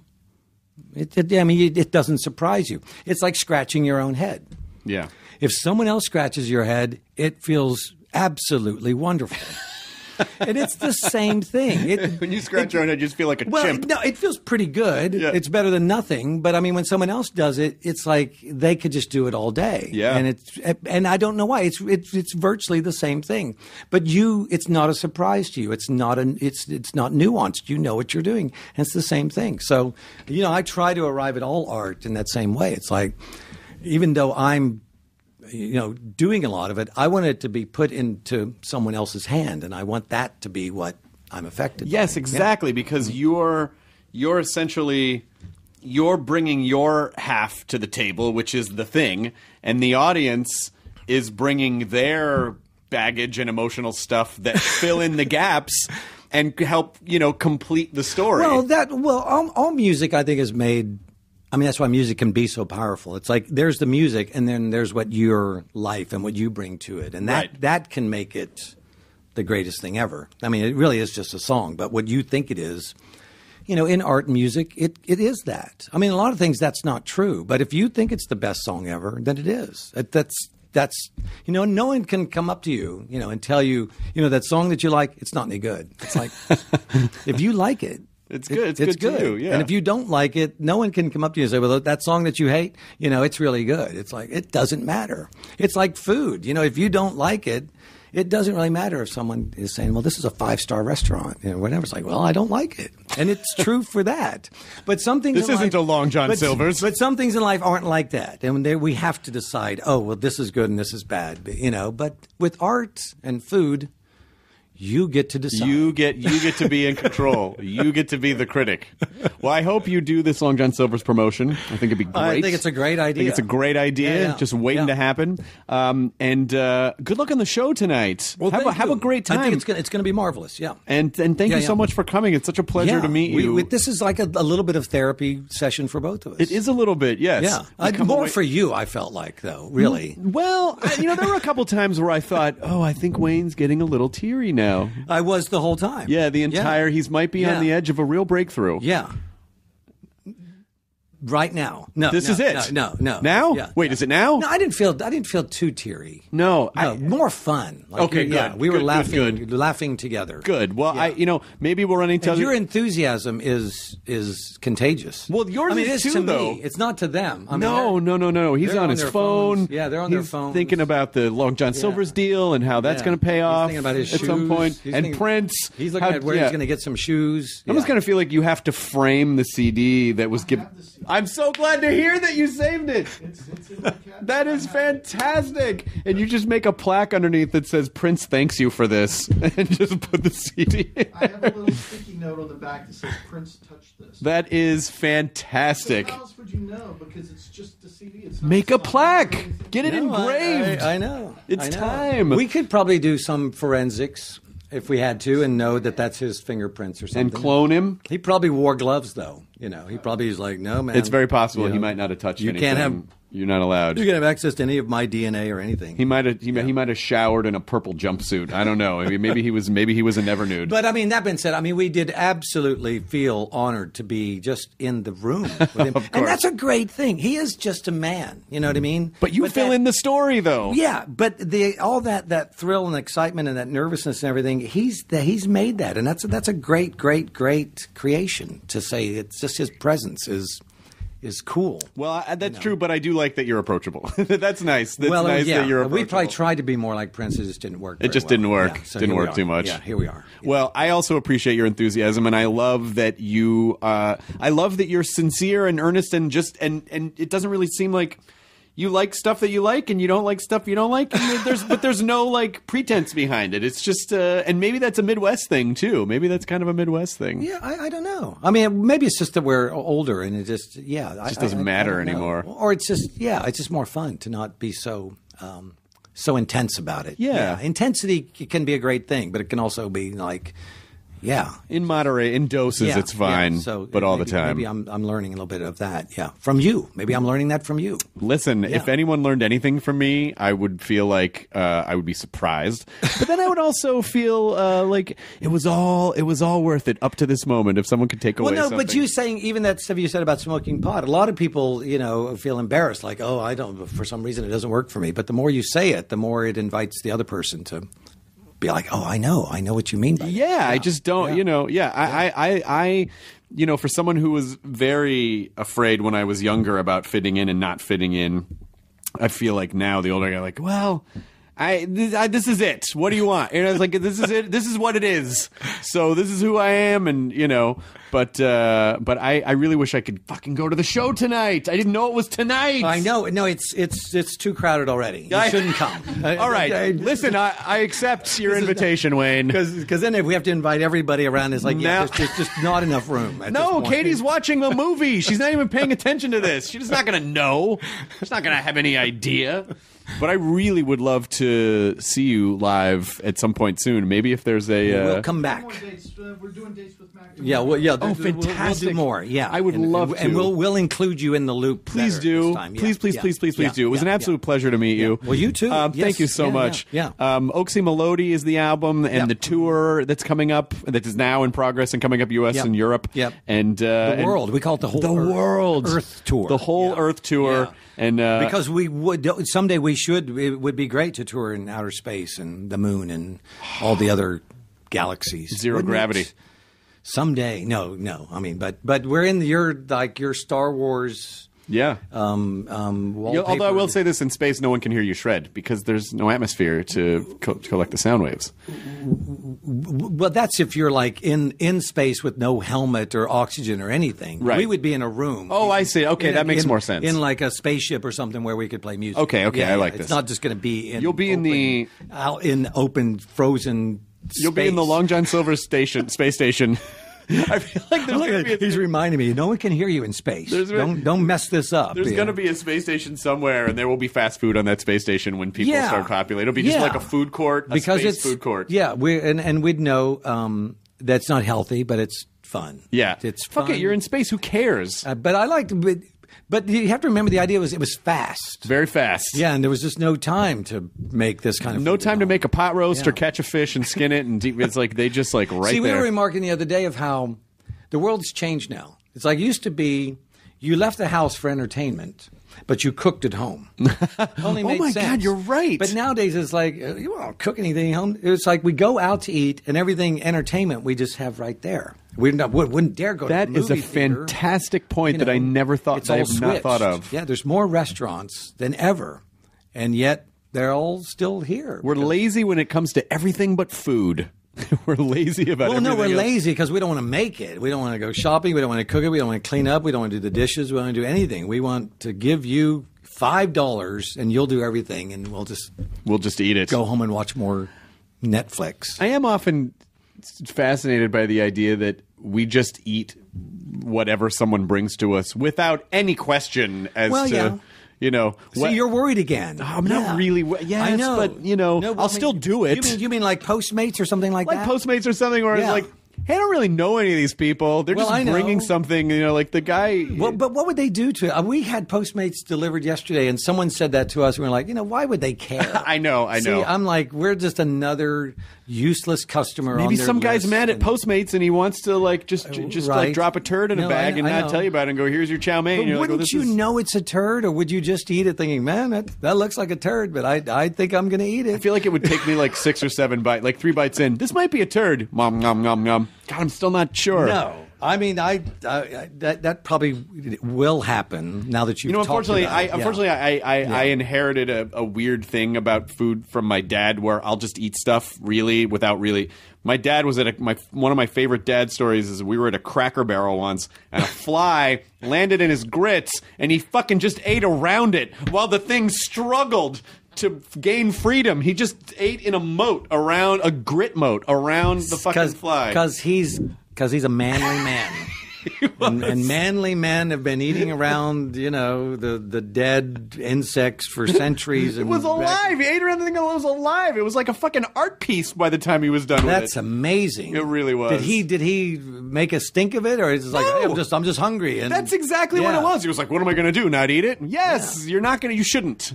But he didn't care. He goes, "I ate around it." That was his justification. Wow. Yeah, and that fly died the most, the the weirdest death of any any creature. Looking up at your your My dad. hungry dad. Yeah, the fly must have thought, "Oh, this is a predator. I'm going to be," but it just like, "Oh, I see. He's just going to consume the vicinity around me. He's going to eat the neighborhood and then just leave me where I am." So so you're you're the thing that you carry with you now is that you would eat the fly, or you would eat around the fly, or you wouldn't. I, I guess I'm confused. I would the free the aftermath. fly, but I would eat around the area where he landed. I would free him.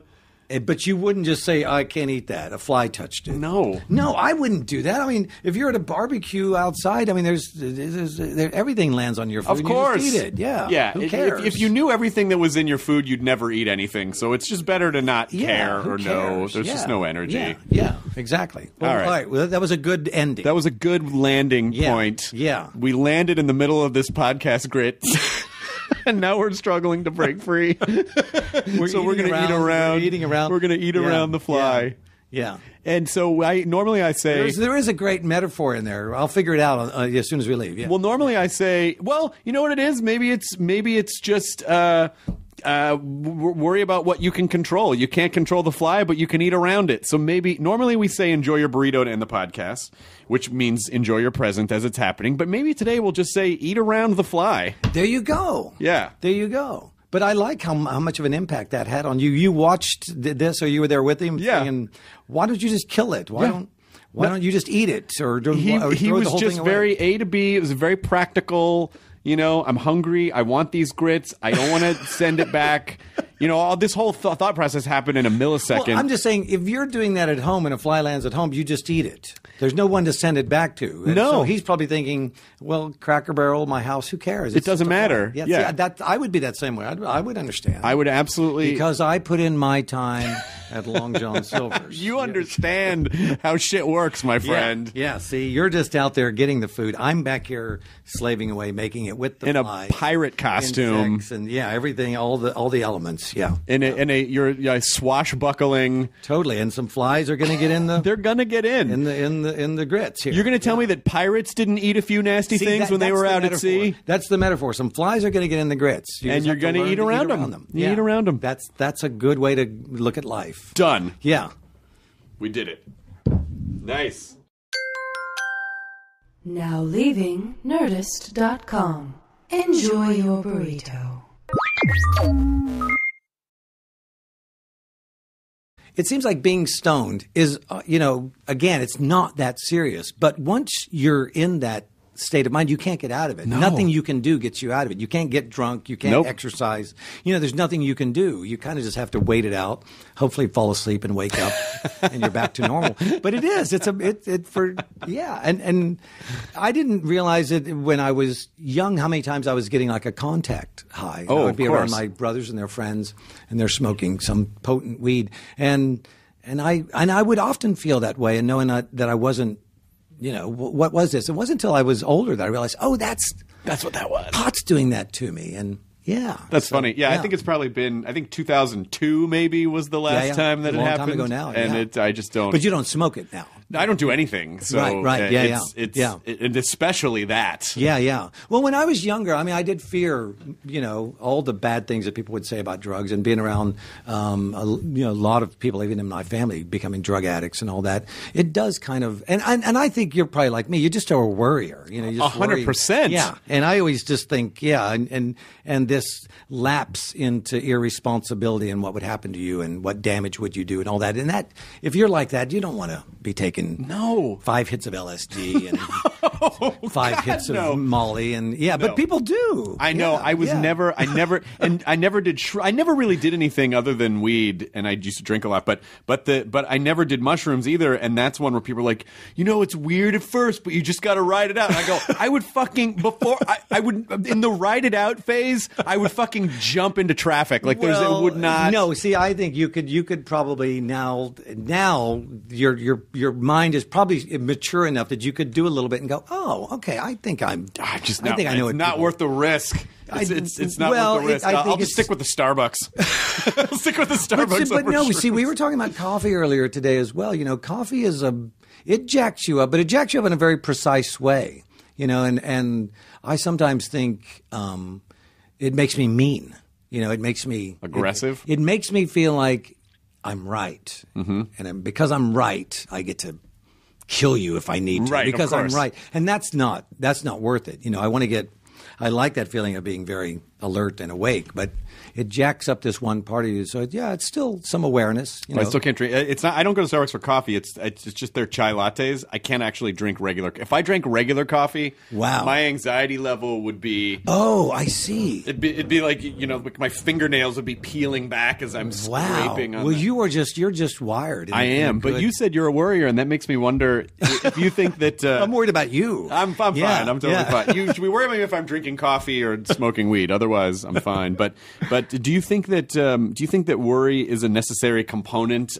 And then there'd be this middle audience that's just old enough and young enough to know who she is and probably know her from more than Hannah Montana than anything else. Right. And would think, oh my God, this is, why is this? You know, or the flame, the Flame is trying to go, you know, in, in this commercial way or this Walt Disney world. What is this?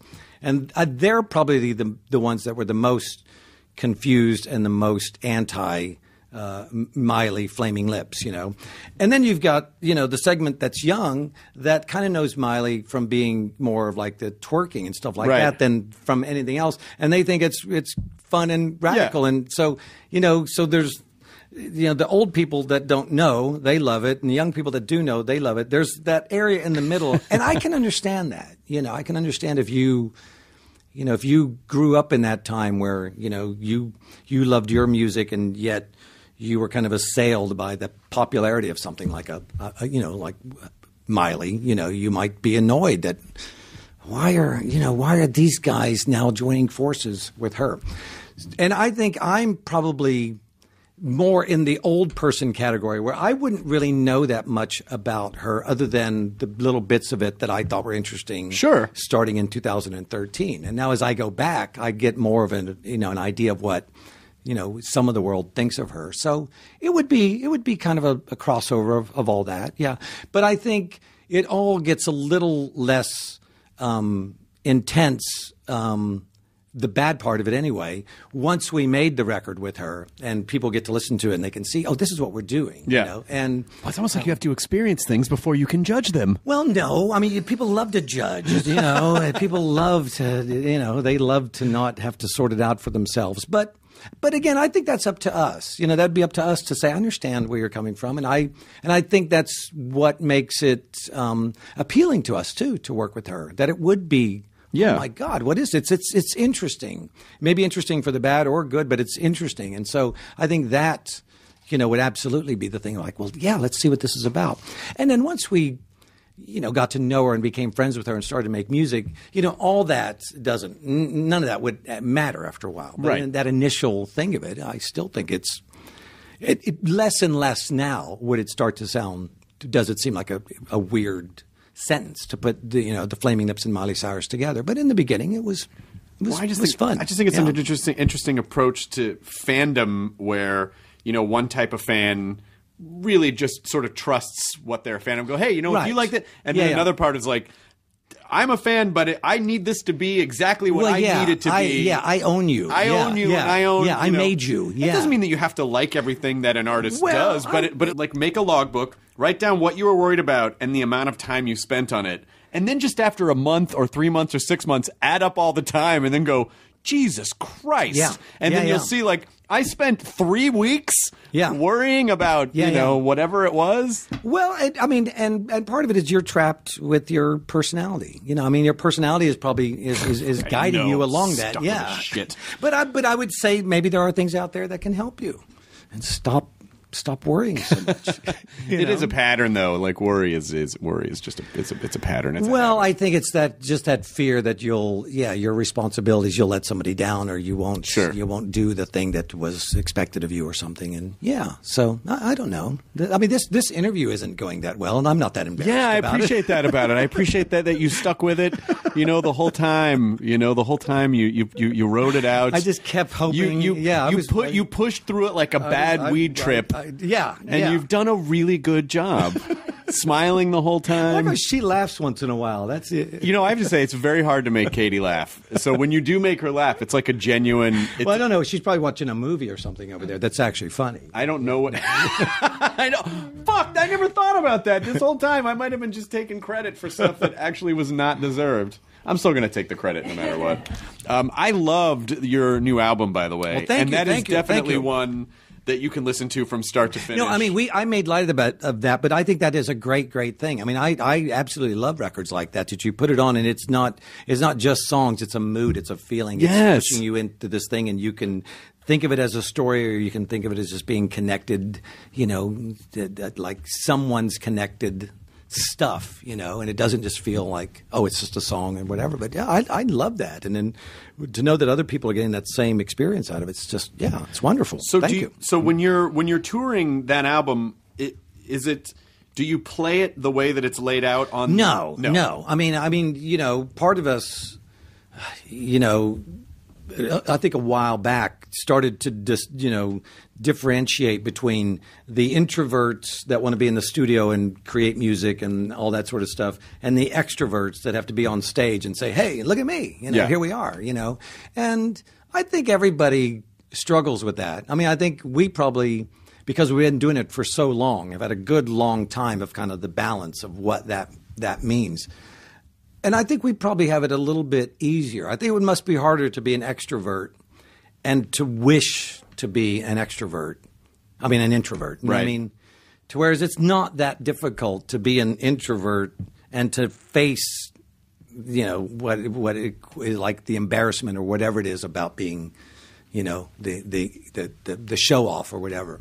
So I think we've gotten better at that. But of what you would think of as English fish and chips. Well, when I, something. I I was born in Kentucky and I grew up in Memphis, and we had we had those there. yeah, yeah, yeah. I mean, uh, a Midwest thing, sort of. Yeah. and it and I can't imagine that when I look back when I think back about eating it now because I just I used to eat I used to like to really eat all the extra crunchy. Oh, exactly. No, exactly. That's those are crumblies. That's. I mean, people would come in and order just that. Did you sell? You would sell those? Yeah, yeah, and, and every yeah. That I mean, that's that was what part of the secret of all Oh God, that. talk yeah. about talk about like diarrhea. no, and it is good, and it is absolutely good. I mean, it's a, it's a great eating experience. But yeah, I mean, it's it's, it's I mean, it's just grease and, and very It's little all the fish. delicious things that are the worst yeah, things that yeah. you should that you should have. And it was, you know, I think at, at, at the at the time, it still felt like there there was a lot of people that were eating fish on Fridays, right? Is that a is that that's like a religious? is that a Catholic thing? Yeah, something about you know,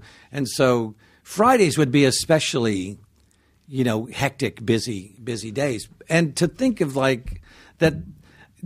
Eating the fish was supposed to be some sort of sacrifice that you're making. I thought, Right, not eating red meat, I think? Yeah, something like you know, we're, well, you know, we're we're we're aware of of, of our indulgences or something. I, I don't know, but l- l- this fish at Long John Silver's, I mean, there's so little fish in there. This great greasy Mm-hmm. bunch of batter and and the French fries and all that, and the hush puppies. Oh, the hush puppies yeah, too. yeah. I mean, and the coleslaw, everything about it was just an outrageously, um, you know, the the the the the coleslaw with its with its dressing and all that. It's just amazing. Yeah, and I worked there for a long, long time, and I and I loved it. I mean, I loved you know the food, and I loved working there, and you know, had a lot of great experiences, but never. I didn't realize that how unhealthy it really was. You know, I love I mean, the I think back then everything there wasn't that much. You know, this was I I started there in 1977, so long, long time ago. Back, you know, at the when when when uh, fast food was just People didn't really worry about. No, it was just faster than other food. It was faster yeah. and and fattier and more delicious, and you could get it into your body quicker. But I love the Yeah. idea that that that was that there's a religious movement behind Long John Silver's. Like, did did did did the Lord say go forth and let your John Silver's be long? Was there some sort of a yeah. religious? Yeah, I know. I remember that. And then, and then during, is it Lent? Is that is that is that? That's around the yeah. Easter time. Is That's before you got to give up the. Yeah, and we would be especially busy then. Yeah, I never connected it that much, but I remember, you know, from just you know working there every year, you'd be like, "Oh yeah, that's." I'm uh, surprised. Is Long John Silver still around? It is still around. It I see. I see the but head I see it now. It, it's like it's connected to like you know a Kentucky Fried Chicken and an A and W and a Long John Silver's. They'll all be in the same thing. I'm know? surprised there's not some sort. I'm surprised they haven't approached you and said, "Let's do." You know, sure. to be a touring, to go out on tour and do all that, and still get your eighty dollars a week from Long John Silver's. yeah, you know. But I think it really, it really, it, it really worked for me. You know, because I didn't want to. I didn't really want a serious job that took you know a lot, a lot of time and a lot of responsibility. Um, that, probably wouldn't have been very good at it anyway. And this was the type of job that within the first two weeks you've got this thing. You know, it's a, it's a, it's, it's kind of mindless work in a way once you know, you know, the routines of it. And yeah, I, I it, it really worked for me because it, I, you know, it, it, it made me enough uh, money that I could sort of live. And a pirate costume. It, well, yeah, You know, yeah, year yeah. round, you could you could be I a mean, pirate. funny now. I do. I do occasionally wear an eye patch on stage, but I. yeah. Shout out to your roots. Well, I, it, it and plus it just looks cool on an old guy. You know, you know, you just look tougher or something. But yeah, I, I think it's funny how all those things they do connect. You know, it's like that's the that's the wonder of the subconscious. You know, you think it's you doing it with your with your conscious mind up here, and there's all these things working below the surface that you just get to have for Yeah, better or for worse. But I, I also I also love that you know because you referred to your to your band as like oh we're this arty band and we got this mainstream thing. But I love that you're not snobby about any of it. Where you're like hey that's kind of cool. Like you embrace. You know, you seem very positive about everything, and not like and not. And then when I hear arty band, I think like, oh, that those people are probably really annoying to hang out with because they're so arty. But Oh you, no, I, I know exactly that that feeling. Yeah, I know what I know what that is. So how are how are Yeah, yeah. how are how are you not that? Well, I mean, I think I mean art is just a description. That doesn't mean it's great or superior or anything. It's like it's just to acknowledge. I mean, I'm you know when I say I'm an artist, I'm not always proud of that. I mean, I see it as being a slightly annoying obsession to, to some people, but you know, some some good things come out of it, and it and it and it seems to work for me. But yeah, I I, I know exactly what you mean. Though there's there's a there's a not just pretentious, but a kind of um, you know, like the the uh, like the world doesn't understand me sort of thing. And I, I I always hated that. You know, it's not up to the world to understand you. It's up to you to, you know, make yourself understood. Right? Sure, sure, yeah. But do, do your fans do your fans understand that about you? Do that? Are, do you have the type of relationship with them where anything you do, they go, "Oh yeah," because you know. Well, I think some of them, yeah. But I mean, we don't. We're, we're not. We're not playing to millions and millions of normal housewives either. You Right. know, I mean, we're we're you know a lot of times we are playing to, you know, the the kind of you know the the freakiest of the the freaks out there, Right. Right. Which we want. That you can change your mind. It's not that big of a deal, unless you're embarrassed about it or you made too much of a fuss about it. But you know, we do that all the time now. You just say it's going to be this, and then if you walked into the studio a week later, you'd be like, "Well, what happened to that?" Be like, oh, "I don't know." it's not that anymore. I didn't like it as much after a while. You know, and you and you can deal. just do that. It's just a song. It's just you know, it's not that big of a deal. And we do that all the time. Sometimes we change our mind five or six times and say, "Well, here it is." Yeah, you know, and you don't know when it's right. Who knows? I mean, there's there's some kind of you know lie about art that you just intuitively know. It's like no, you don't you don't know anything. You know, you just hope that something happens, and you hear it as if someone else was doing it instead of you doing it. Because when you know you're doing it, it just doesn't feel. It, it, I mean, it, it doesn't surprise you. It's like scratching your own head. yeah. If someone else scratches your head, it feels absolutely wonderful. and it's the same thing. It, When you scratch your own head, you just feel like a well, chimp. no, it feels pretty good. Yeah. It's better than nothing. But I mean, when someone else does it, it's like they could just do it all day. Yeah. and it's and I don't know why. It's it's it's virtually the same thing. But you, it's not a surprise to you. It's not an it's it's not nuanced. You know what you're doing, and it's the same thing. So, you know, I try to arrive at all art in that same way. It's like, even though I'm you know, doing a lot of it, I want it to be put into someone else's hand, and I want that to be what I'm affected. by. Yes, exactly. Because mm-hmm. you're you're essentially you're bringing your half to the table, which is the thing, and the audience is bringing their baggage and emotional stuff that fill in the gaps and help you know complete the story. Well, that well, all, all music I think is made. I mean, that's why music can be so powerful. It's like there's the music, and then there's what your life and what you bring to it, and that Right. that can make it the greatest thing ever. I mean, it really is just a song, but what you think it is, you know, in art and music, it, it is that. I mean, a lot of things that's not true, but if you think it's the best song ever, then it is. It, that's that's you know, no one can come up to you, you know, and tell you, you know, that song that you like, it's not any good. It's like if you like it. It's good. It's good to you, yeah. And if you don't like it, no one can come up to you and say, "Well, that song that you hate, you know, it's really good." It's like it doesn't matter. It's like food. You know, if you don't like it, it doesn't really matter if someone is saying, "Well, this is a five star restaurant," you know, whatever. It's like, well, I don't like it, and it's true for that. But some things This in isn't life- a Long John but- Silver's. But some things in life aren't like that, and there, we have to decide. Oh, well, this is good and this is bad. But, you know, but with art and food, you get to decide. You get you get to be in control. you get to be the critic. Well, I hope you do this Long John Silver's promotion. I think it'd be great. I think it's a great idea. I think it's a great idea. Yeah, yeah. Just waiting Yeah. to happen. Um, and uh, good luck on the show tonight. Well, have a, have a great time. I think it's gonna, it's going to be marvelous. Yeah. and it's special somehow now. So Most people buy two. they just buy two. Yeah. I think it does make it slightly less. well, you know, you, you could be right, but everyone we still know, the really hardcore collectors buy two. I mean, I I I I, I spy that vintage looking Star Trek shirt underneath your jacket. So I I, got it at Target. you did.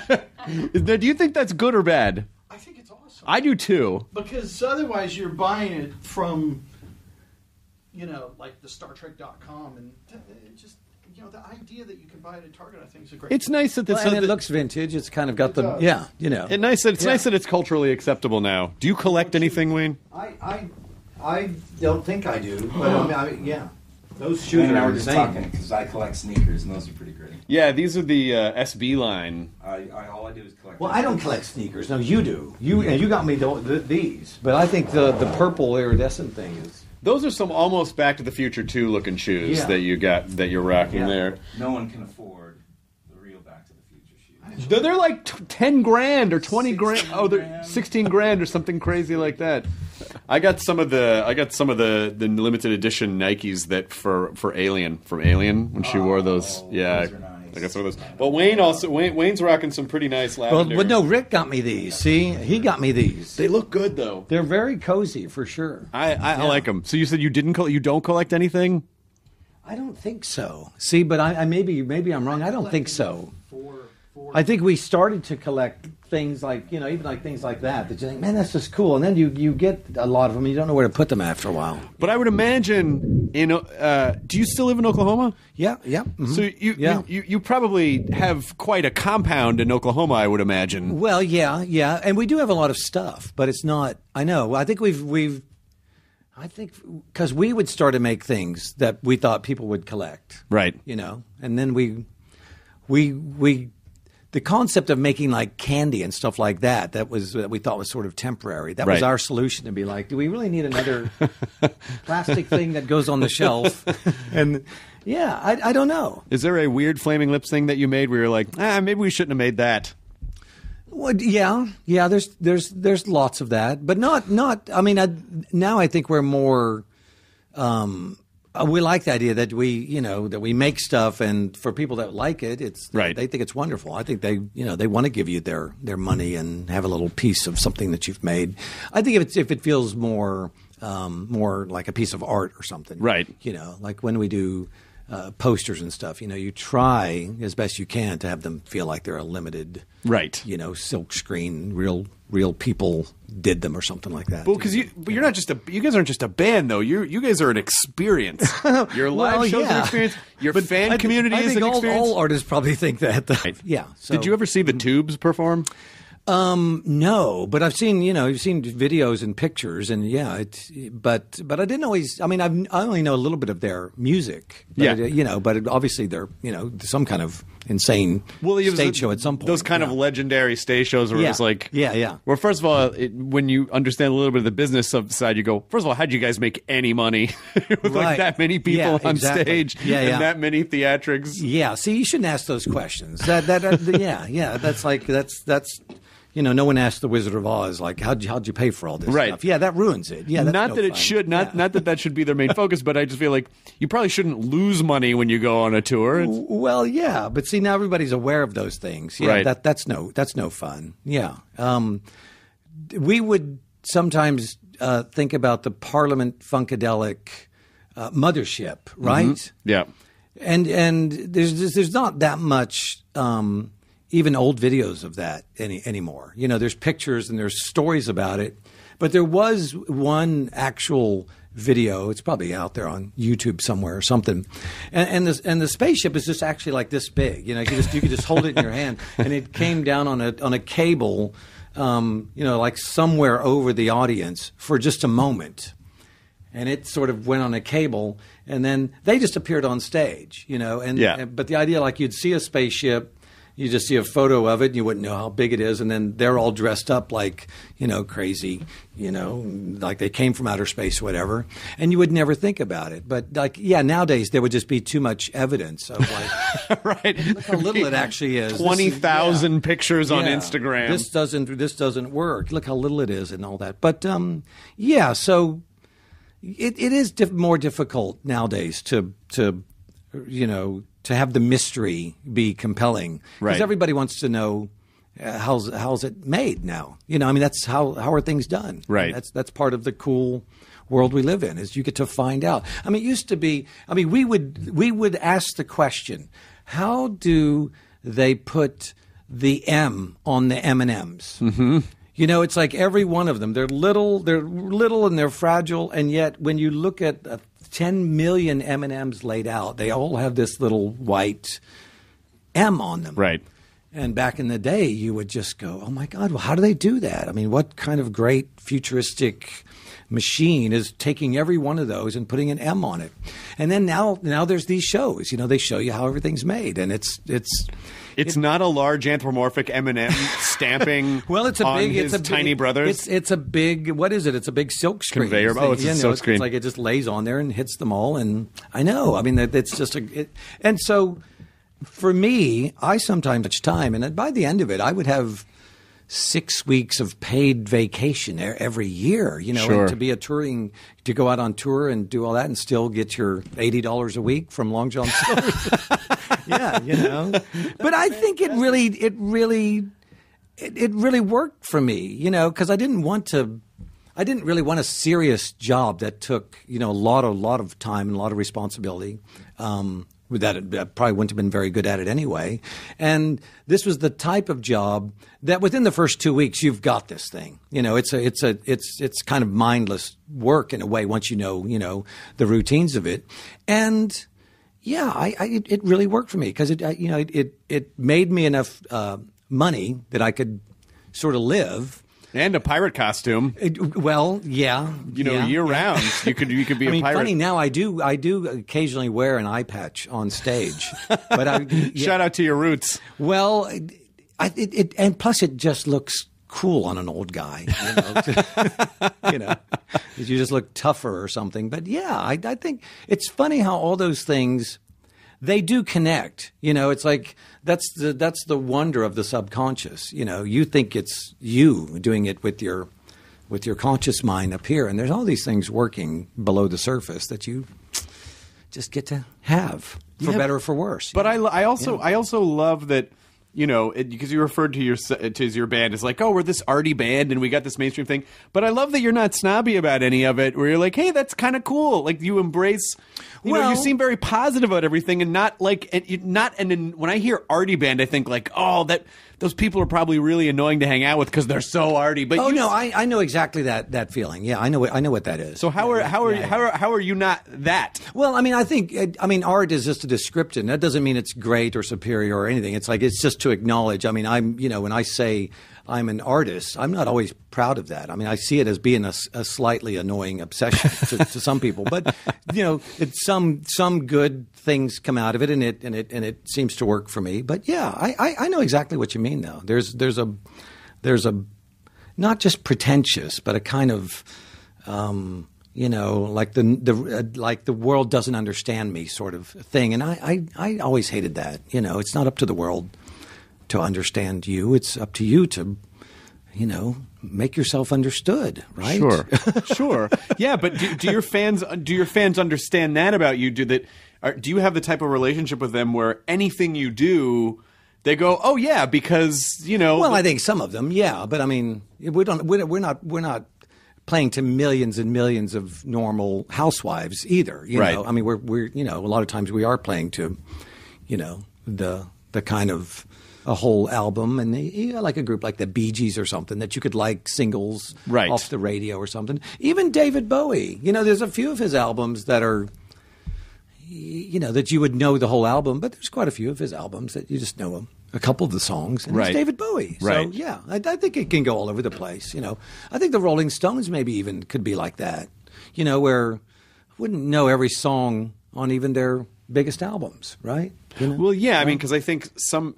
I mean, I understand the idea of like, okay, we are assembling songs and go, okay, these songs all make sense together, but that's different than, you know, especially something like Yoshimi, where you go, okay, you start you start at the beginning and then there, there's a story by the end, and you can no, listen to the uh, whole no, thing. No, I agree. I just, I, I just sometimes have a hard time saying I think one is better than the other. It's Right. like you know, I mean, I think some some artists. I, I think what the, the difference is is they feel like I'm just I'm a singer, and then you get to hear me sing. It doesn't really matter what the song Right. is or what all the other stuff is about. And I think as the Flaming Lips, I mean, we take it the other way. It's like we're not really like entertainers. We're we're making this this bunch of you know sounds and, and you know all these things. It's not it, you know, it's not like just put a microphone in front of us and you know, it's so. Yeah, I think that's probably the difference. You know, Mick Jagger probably thinks, yeah, well, you just want to. Of course, you want to hear Mick Jagger. It doesn't really matter what song I'm doing, Right. You know, whereas it would, it would be the opposite with us. It's like I don't, I'm not sure you really want to hear us. It's everything that we've made up, or you know, it's all a, a construct. To sort right? of- yeah. So, Did you ever see the Tubes perform? No, but I've seen you know you've seen videos and pictures and yeah, it's but but I didn't always. I mean, I've, I only know a little bit of their music. But Yeah. it- you know, but it, obviously they're you know some kind of insane Well, stage a- show at some point. Those kind of legendary stage shows where Yeah. it's like, Yeah, yeah. Well, first of all, it, when you understand a little bit of the business side, you go, first of all, how'd you guys make any money with like that many people Yeah, on exactly. stage Yeah, and yeah. that many theatrics? Yeah, see, you shouldn't ask those questions. That that uh, yeah yeah that's like that's that's.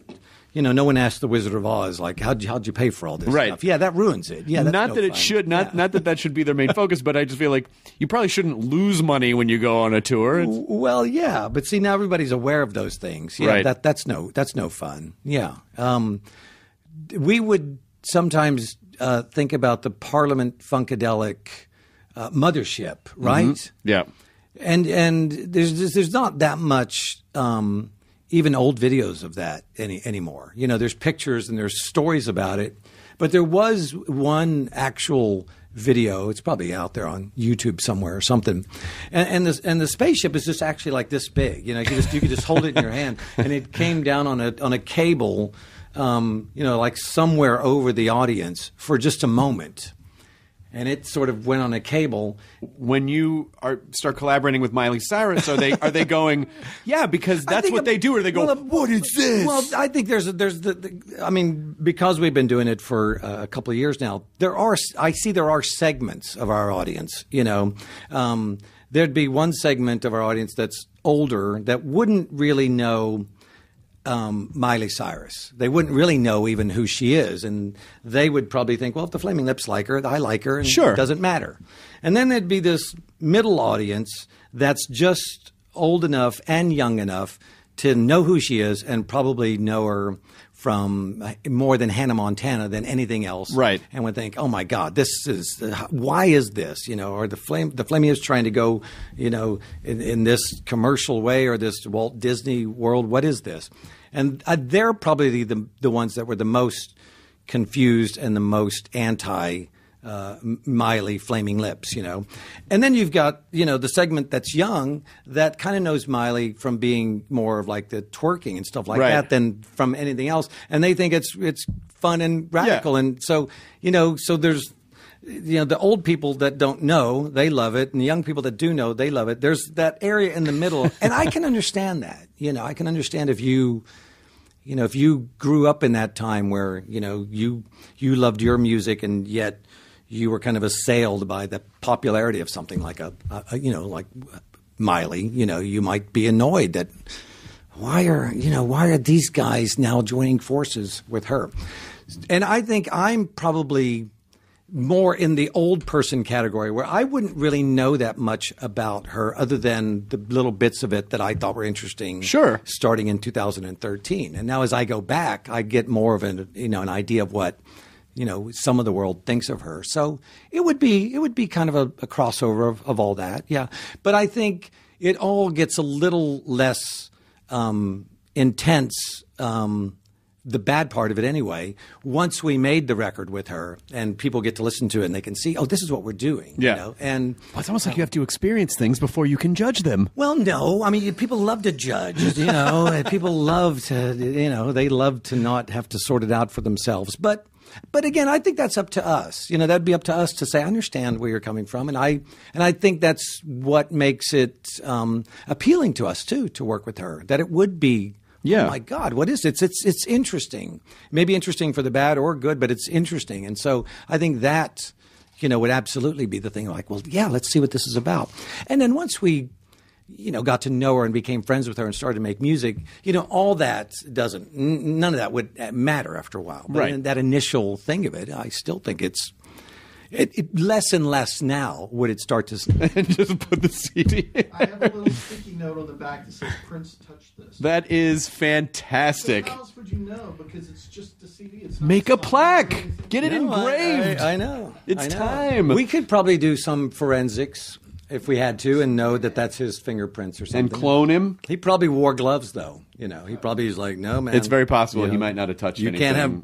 You're not allowed. You can have access to any of my DNA or anything. He might have. He, he might have showered in a purple jumpsuit. I don't know. I mean, maybe he was. Maybe he was a never nude. But I mean, that being said, I mean, we did absolutely feel honored to be just in the room with him, and that's a great thing. He is just a man. You know what I mm. mean? But you fill that- in the story, though. Yeah, but the all that that thrill and excitement and that nervousness and everything, he's that he's made that, and that's that's a great, great, great creation. To say it's just his presence is is cool. Well, I, that's true, but I do like that you're approachable. that's nice. That's well, nice yeah, that you're approachable. we probably tried to be more like Prince. It just didn't work. It just well. didn't work. Yeah, so Didn't work too much. Yeah, here we are. Well, I also appreciate your enthusiasm, and I love that you. Uh, I love that you're sincere and earnest, and just and and it doesn't really seem like you like stuff that you like, and you don't like stuff you don't like. And there's but there's no like pretense behind it. It's just uh, and maybe that's a Midwest thing too. Maybe that's kind of a Midwest thing. Yeah, I, I don't know. I mean, maybe it's just that we're older and it just yeah, it just doesn't matter anymore. Or it's just yeah, it's just more fun to not be so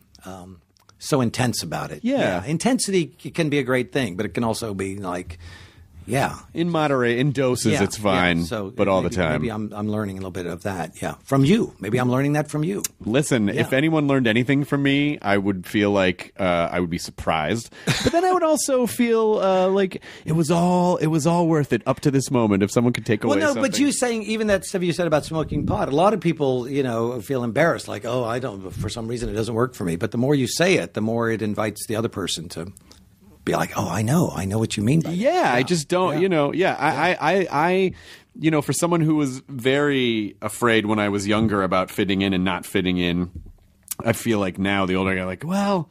I this, I this is it. What do you want? And I was like, this is it. This is what it is. So this is who I am, and you know.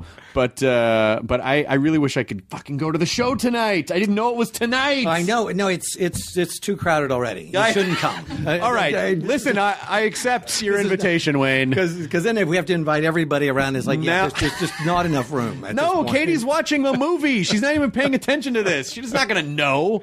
She's not going to have any idea.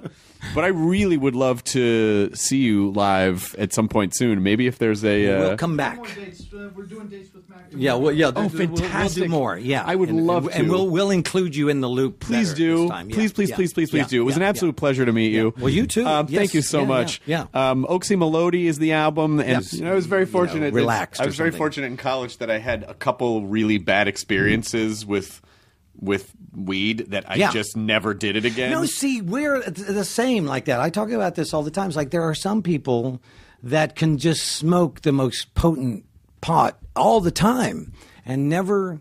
The worst it gets for them is they go, "I'm really stoned." But for me, I was like, "Do I need to go to the hospital?" I'm, That's me. I'm That's- dying. no, that's me. I, I, I, yeah, I would get uh, anxiety. I would. Everything would be magnified. all the bad things would be magnified. yeah, yeah. And then, yeah. but but then real pot smokers go. Oh, you just got some. You, you didn't get good weed. Like, well, yeah, I don't. I'm just not gonna. I, I'm not gonna take the journey to find the good stuff. Okay. Well, I but I admire that, they probably have some other disposition than we do. You know, I mean, I I probably worry too much about things that are never going to happen, and they probably don't worry enough about things that really are going to happen. And you know, when they get stoned, it's like it's a wonderful world. You know, serial killers and all that. Who cares? You know, and when I get stoned, everybody.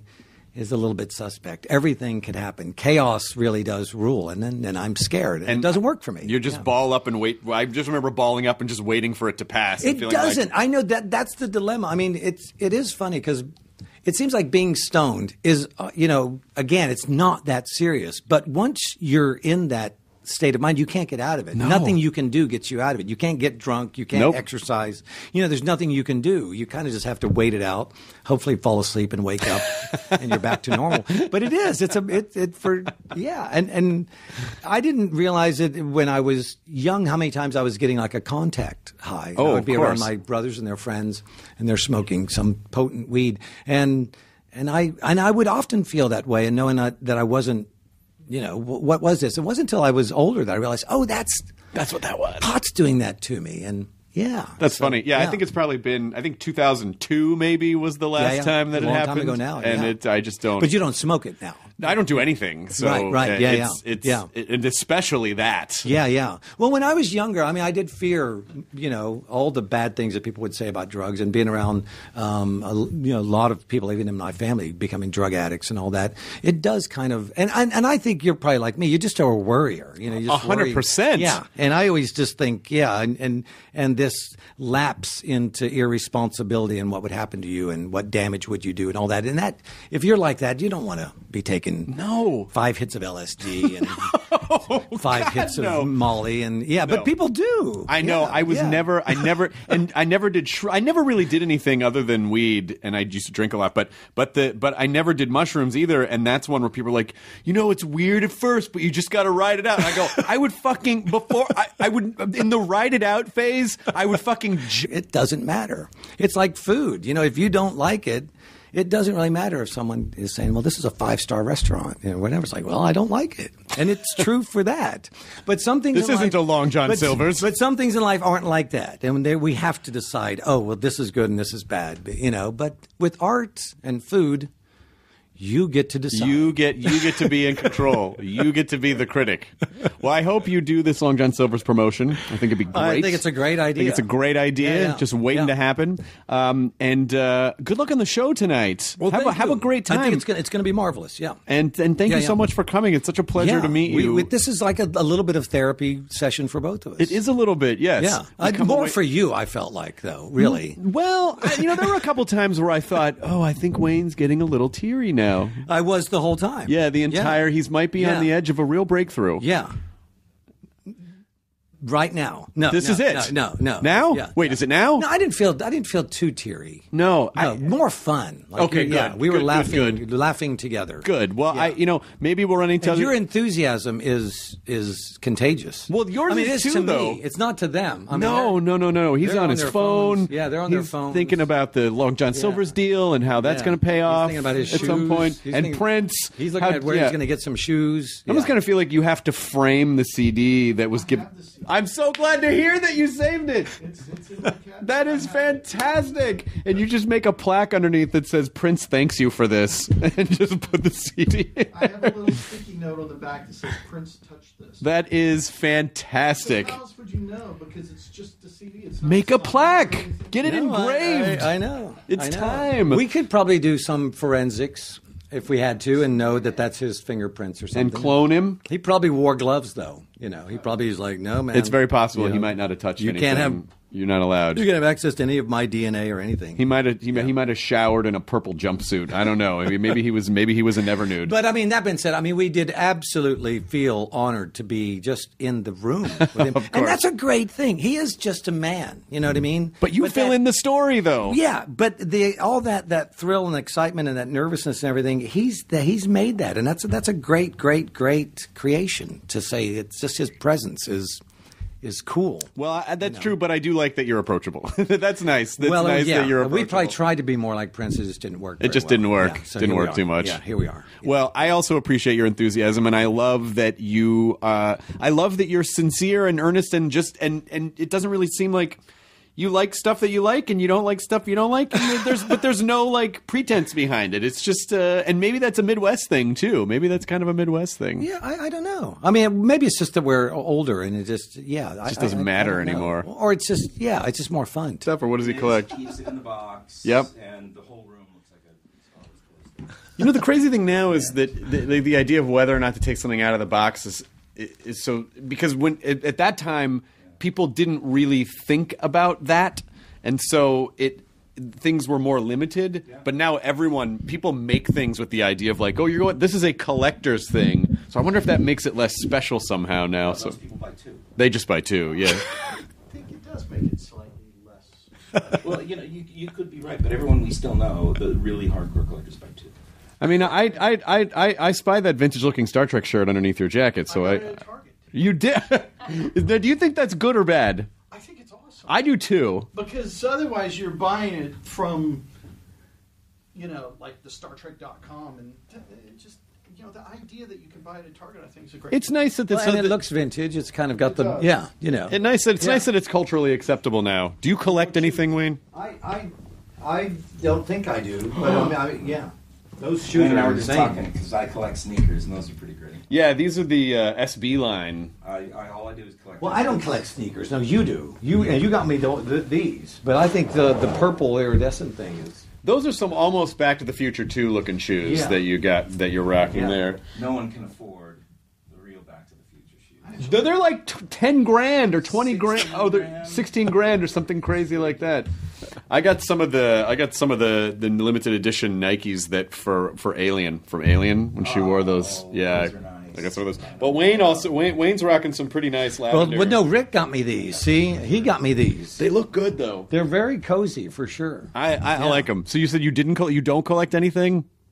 I don't think so. See, but I, I maybe maybe I'm wrong. I don't think so. for, for I think we started to collect things like you know even like things like that that you think man that's just cool and then you you get a lot of them and you don't know where to put them after a while. But I would imagine in uh, do you still live in Oklahoma? Yeah, yeah. mhm. So you, Yeah. you, you you probably have quite a compound in Oklahoma, I would imagine. Well, yeah, yeah, and we do have a lot of stuff, but it's not. I know. I think we've we've I think because we would start to make things that we thought people would collect, Right. You know, and then we, we, we, the concept of making like candy and stuff like that that was that we thought was sort of temporary. That was our solution to be like, do we really need another plastic thing that goes on the shelf? and yeah, I, I don't know. Is there a weird flaming lips thing that you made where you're like, ah, maybe we shouldn't have made that? Well, yeah, yeah. There's there's there's lots of that, but not not. I mean, I, now I think we're more. Um, uh, we like the idea that we, you know, that we make stuff, and for people that like it, it's Right. They think it's wonderful. I think they, you know, they want to give you their their money and have a little piece of something that you've made. I think if it's if, if it, I, it and it's the perfect balance because if she just got pre-made meals delivered to her, Yeah. probably wouldn't be that fun. If she just got, you know, I don't know, if she just had to go to the store and get her own stuff, it's not, it's not as fun. So it's the perfect combination of like being active but passive at the same Yeah. time. So uh, again, all for less than ten bucks per meal. You can customize recipes based on preference. Select a delivery option that is right for you. There's no weekly commitment. You only get deliveries when you want them. So just in June, just for example, warm smoked trout, asparagus salad, fingerling potatoes, garlic croutons, spiced zucchini enchiladas with creamy lime and tomato rice. Uh, you have uh, peach honey glazed chicken, mashed sweet potatoes, collard greens, Thai basil. These are just some examples of, of, of stuff that so you can good. make. I'm so hungry. Yeah, I know. Me too. I actually, I started like I had to wipe a little bit of spittle out of the corner of my mouth. It's just when I got to the word Thai basil, I just like okay, easy there. But check out this week's menu. Get your first three meals free with free shipping. Go to blueapron.com/slash nerdist. You're gonna love how good it feels and tastes to create incredible home cooked meals with Blue Apron. Don't wait. Blueapron.com/slash nerdist. Blue Apron, a better way to cook. And now here's a better way to podcast. And there's podcast number 875 with Wayne Coyne as Katie Levine rolls the thing. Now entering Nerdist.com.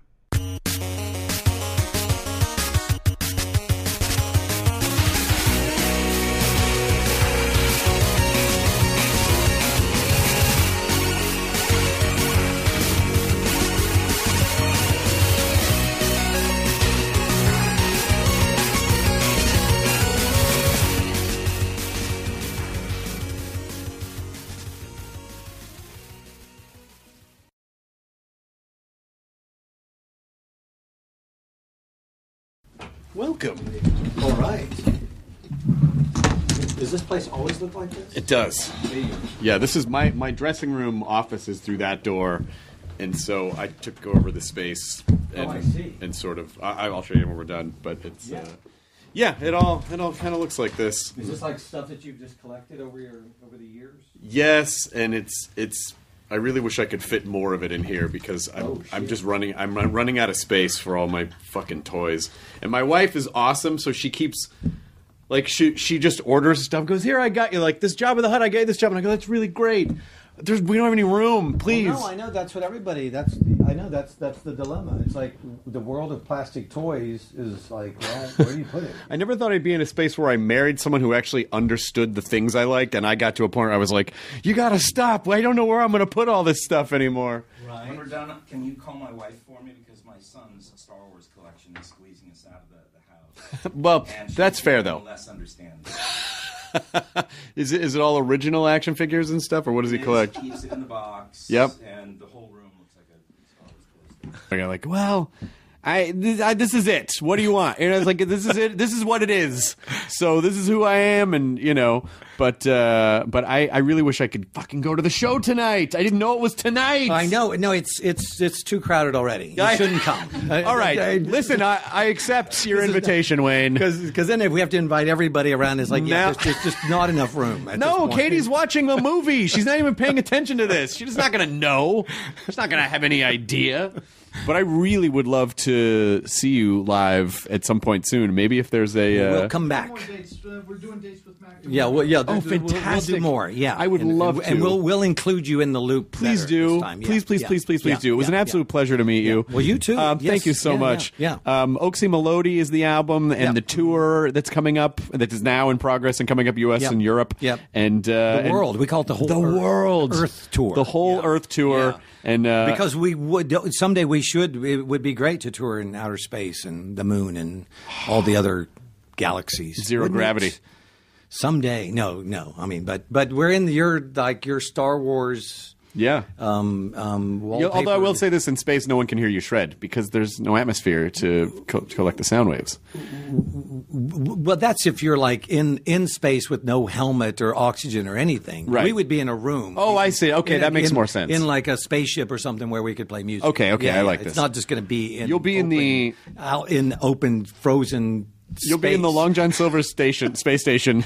I feel like there's Look gonna be a, he's reminding me. No one can hear you in space. Don't don't mess this up. there's going to be a space station somewhere, and there will be fast food on that space station when people Yeah. start populating. It'll be just Yeah. like a food court, a because it's food court. Yeah, we and and we'd know um, that's not healthy, but it's fun. yeah. it's fuck it. You're in space. Who cares? Uh, but I like. but, but you have to remember the idea was it was fast. Very fast. Yeah, and there was just no time to make this kind of. No time to make a pot roast or catch a fish and skin it, and deep, it's like they just like right See, we there. were remarking the other day of how the world's changed now. It's like it used to be you left the house for entertainment, but you cooked at home.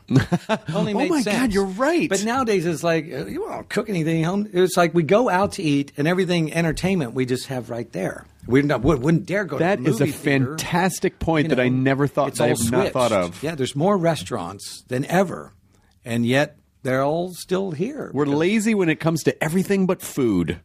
we're lazy about Well, no, we're else. lazy because we don't want to make it. We don't want to go shopping. We don't want to cook it. We don't want to clean up. We don't want to do the dishes. We don't want to do anything. We want to give you five dollars and you'll do everything, and we'll just We'll just eat it. go home and watch more Netflix. I am often fascinated by the idea that we just eat whatever someone brings to us without any question as Well, to, yeah. you know, So what- you're worried again. I'm not re- the world's changed now. It's like it used to be you left the house for entertainment, but you cooked at home. Only Oh my sense. God, you're right. But nowadays it's like uh, you won't cook anything at home. It's like we go out to eat, and everything entertainment we just have right there. We not, wouldn't wouldn't dare go. That to the a theater. fantastic point You that I never thought that I have not thought of. Yeah, there's more restaurants than ever, and yet they're all still here. We're lazy when it comes to everything but food. we're lazy about Well, no, we're else. lazy because we don't want to make it. We don't want to go shopping. We don't want to cook it. We don't want to clean up. We don't want to do the dishes. We don't want to do anything. We want to give you five dollars and you'll do everything, and we'll just We'll just eat it. go home and watch more Netflix. I am often fascinated by the idea that we just eat whatever someone brings to us without any question as Well, to yeah. You know See, what- you're worried again. Oh, I'm not really Yeah, I know, but, you know, well, I'll I still do it. You mean, you mean like Postmates or something like, like that? Like Postmates or something where Yeah. it's like hey, I don't really know any of these people. They're Well, just bringing something, you know, like the guy. Well, but what would they do to? it? Uh, we had Postmates delivered yesterday, and someone said that to us. We were like, you know, why would they care? I know, I know. See, I'm like, we're just another useless customer. on Maybe some guy's mad at Postmates and he wants to like just j- just like drop a turd in a bag I- and I not know. tell you about it and go, here's your chow mein. But And you're like, oh, wouldn't well, this you is- know it's a turd, or would you just eat it thinking, man, that, that looks like a turd, but I, I think I'm going to eat it? I feel like it would take me like six or seven bites, like three bites in. This might be a turd. Mom, nom, nom, nom. God, I'm still not sure. no. I mean, I, I, I that that probably will happen now that you've You know, unfortunately, about I. Yeah. unfortunately I I, Yeah. I inherited a, a weird thing about food from my dad, where I'll just eat stuff really without really. My dad was at a, my one of my favorite dad stories is we were at a Cracker Barrel once, and a fly landed in his grits, and he fucking just ate around it while the thing struggled to gain freedom. He just ate in a moat around a grit moat around the fucking fly. because he's because he's a manly man.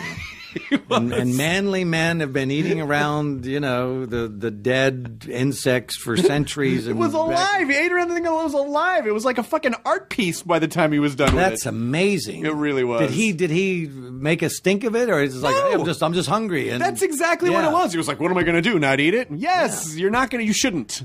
But he didn't care. He goes, "I ate around it." That was his justification. Wow. Yeah, and that fly died the most, the the weirdest death of any any creature. Looking up at your your My dad. hungry dad. Yeah. the fly must have thought, "Oh, this is a predator. I'm going to be," but it just like, "Oh, I see. He's just going to consume the vicinity around me. He's going to eat the neighborhood and then just leave me where I am." So so you're you're the thing that you carry with you now is that you would eat the fly, or you would eat around the fly, or you wouldn't. I, I guess I'm confused. I would the free the fly, but I would eat around the area where he landed. I would free him.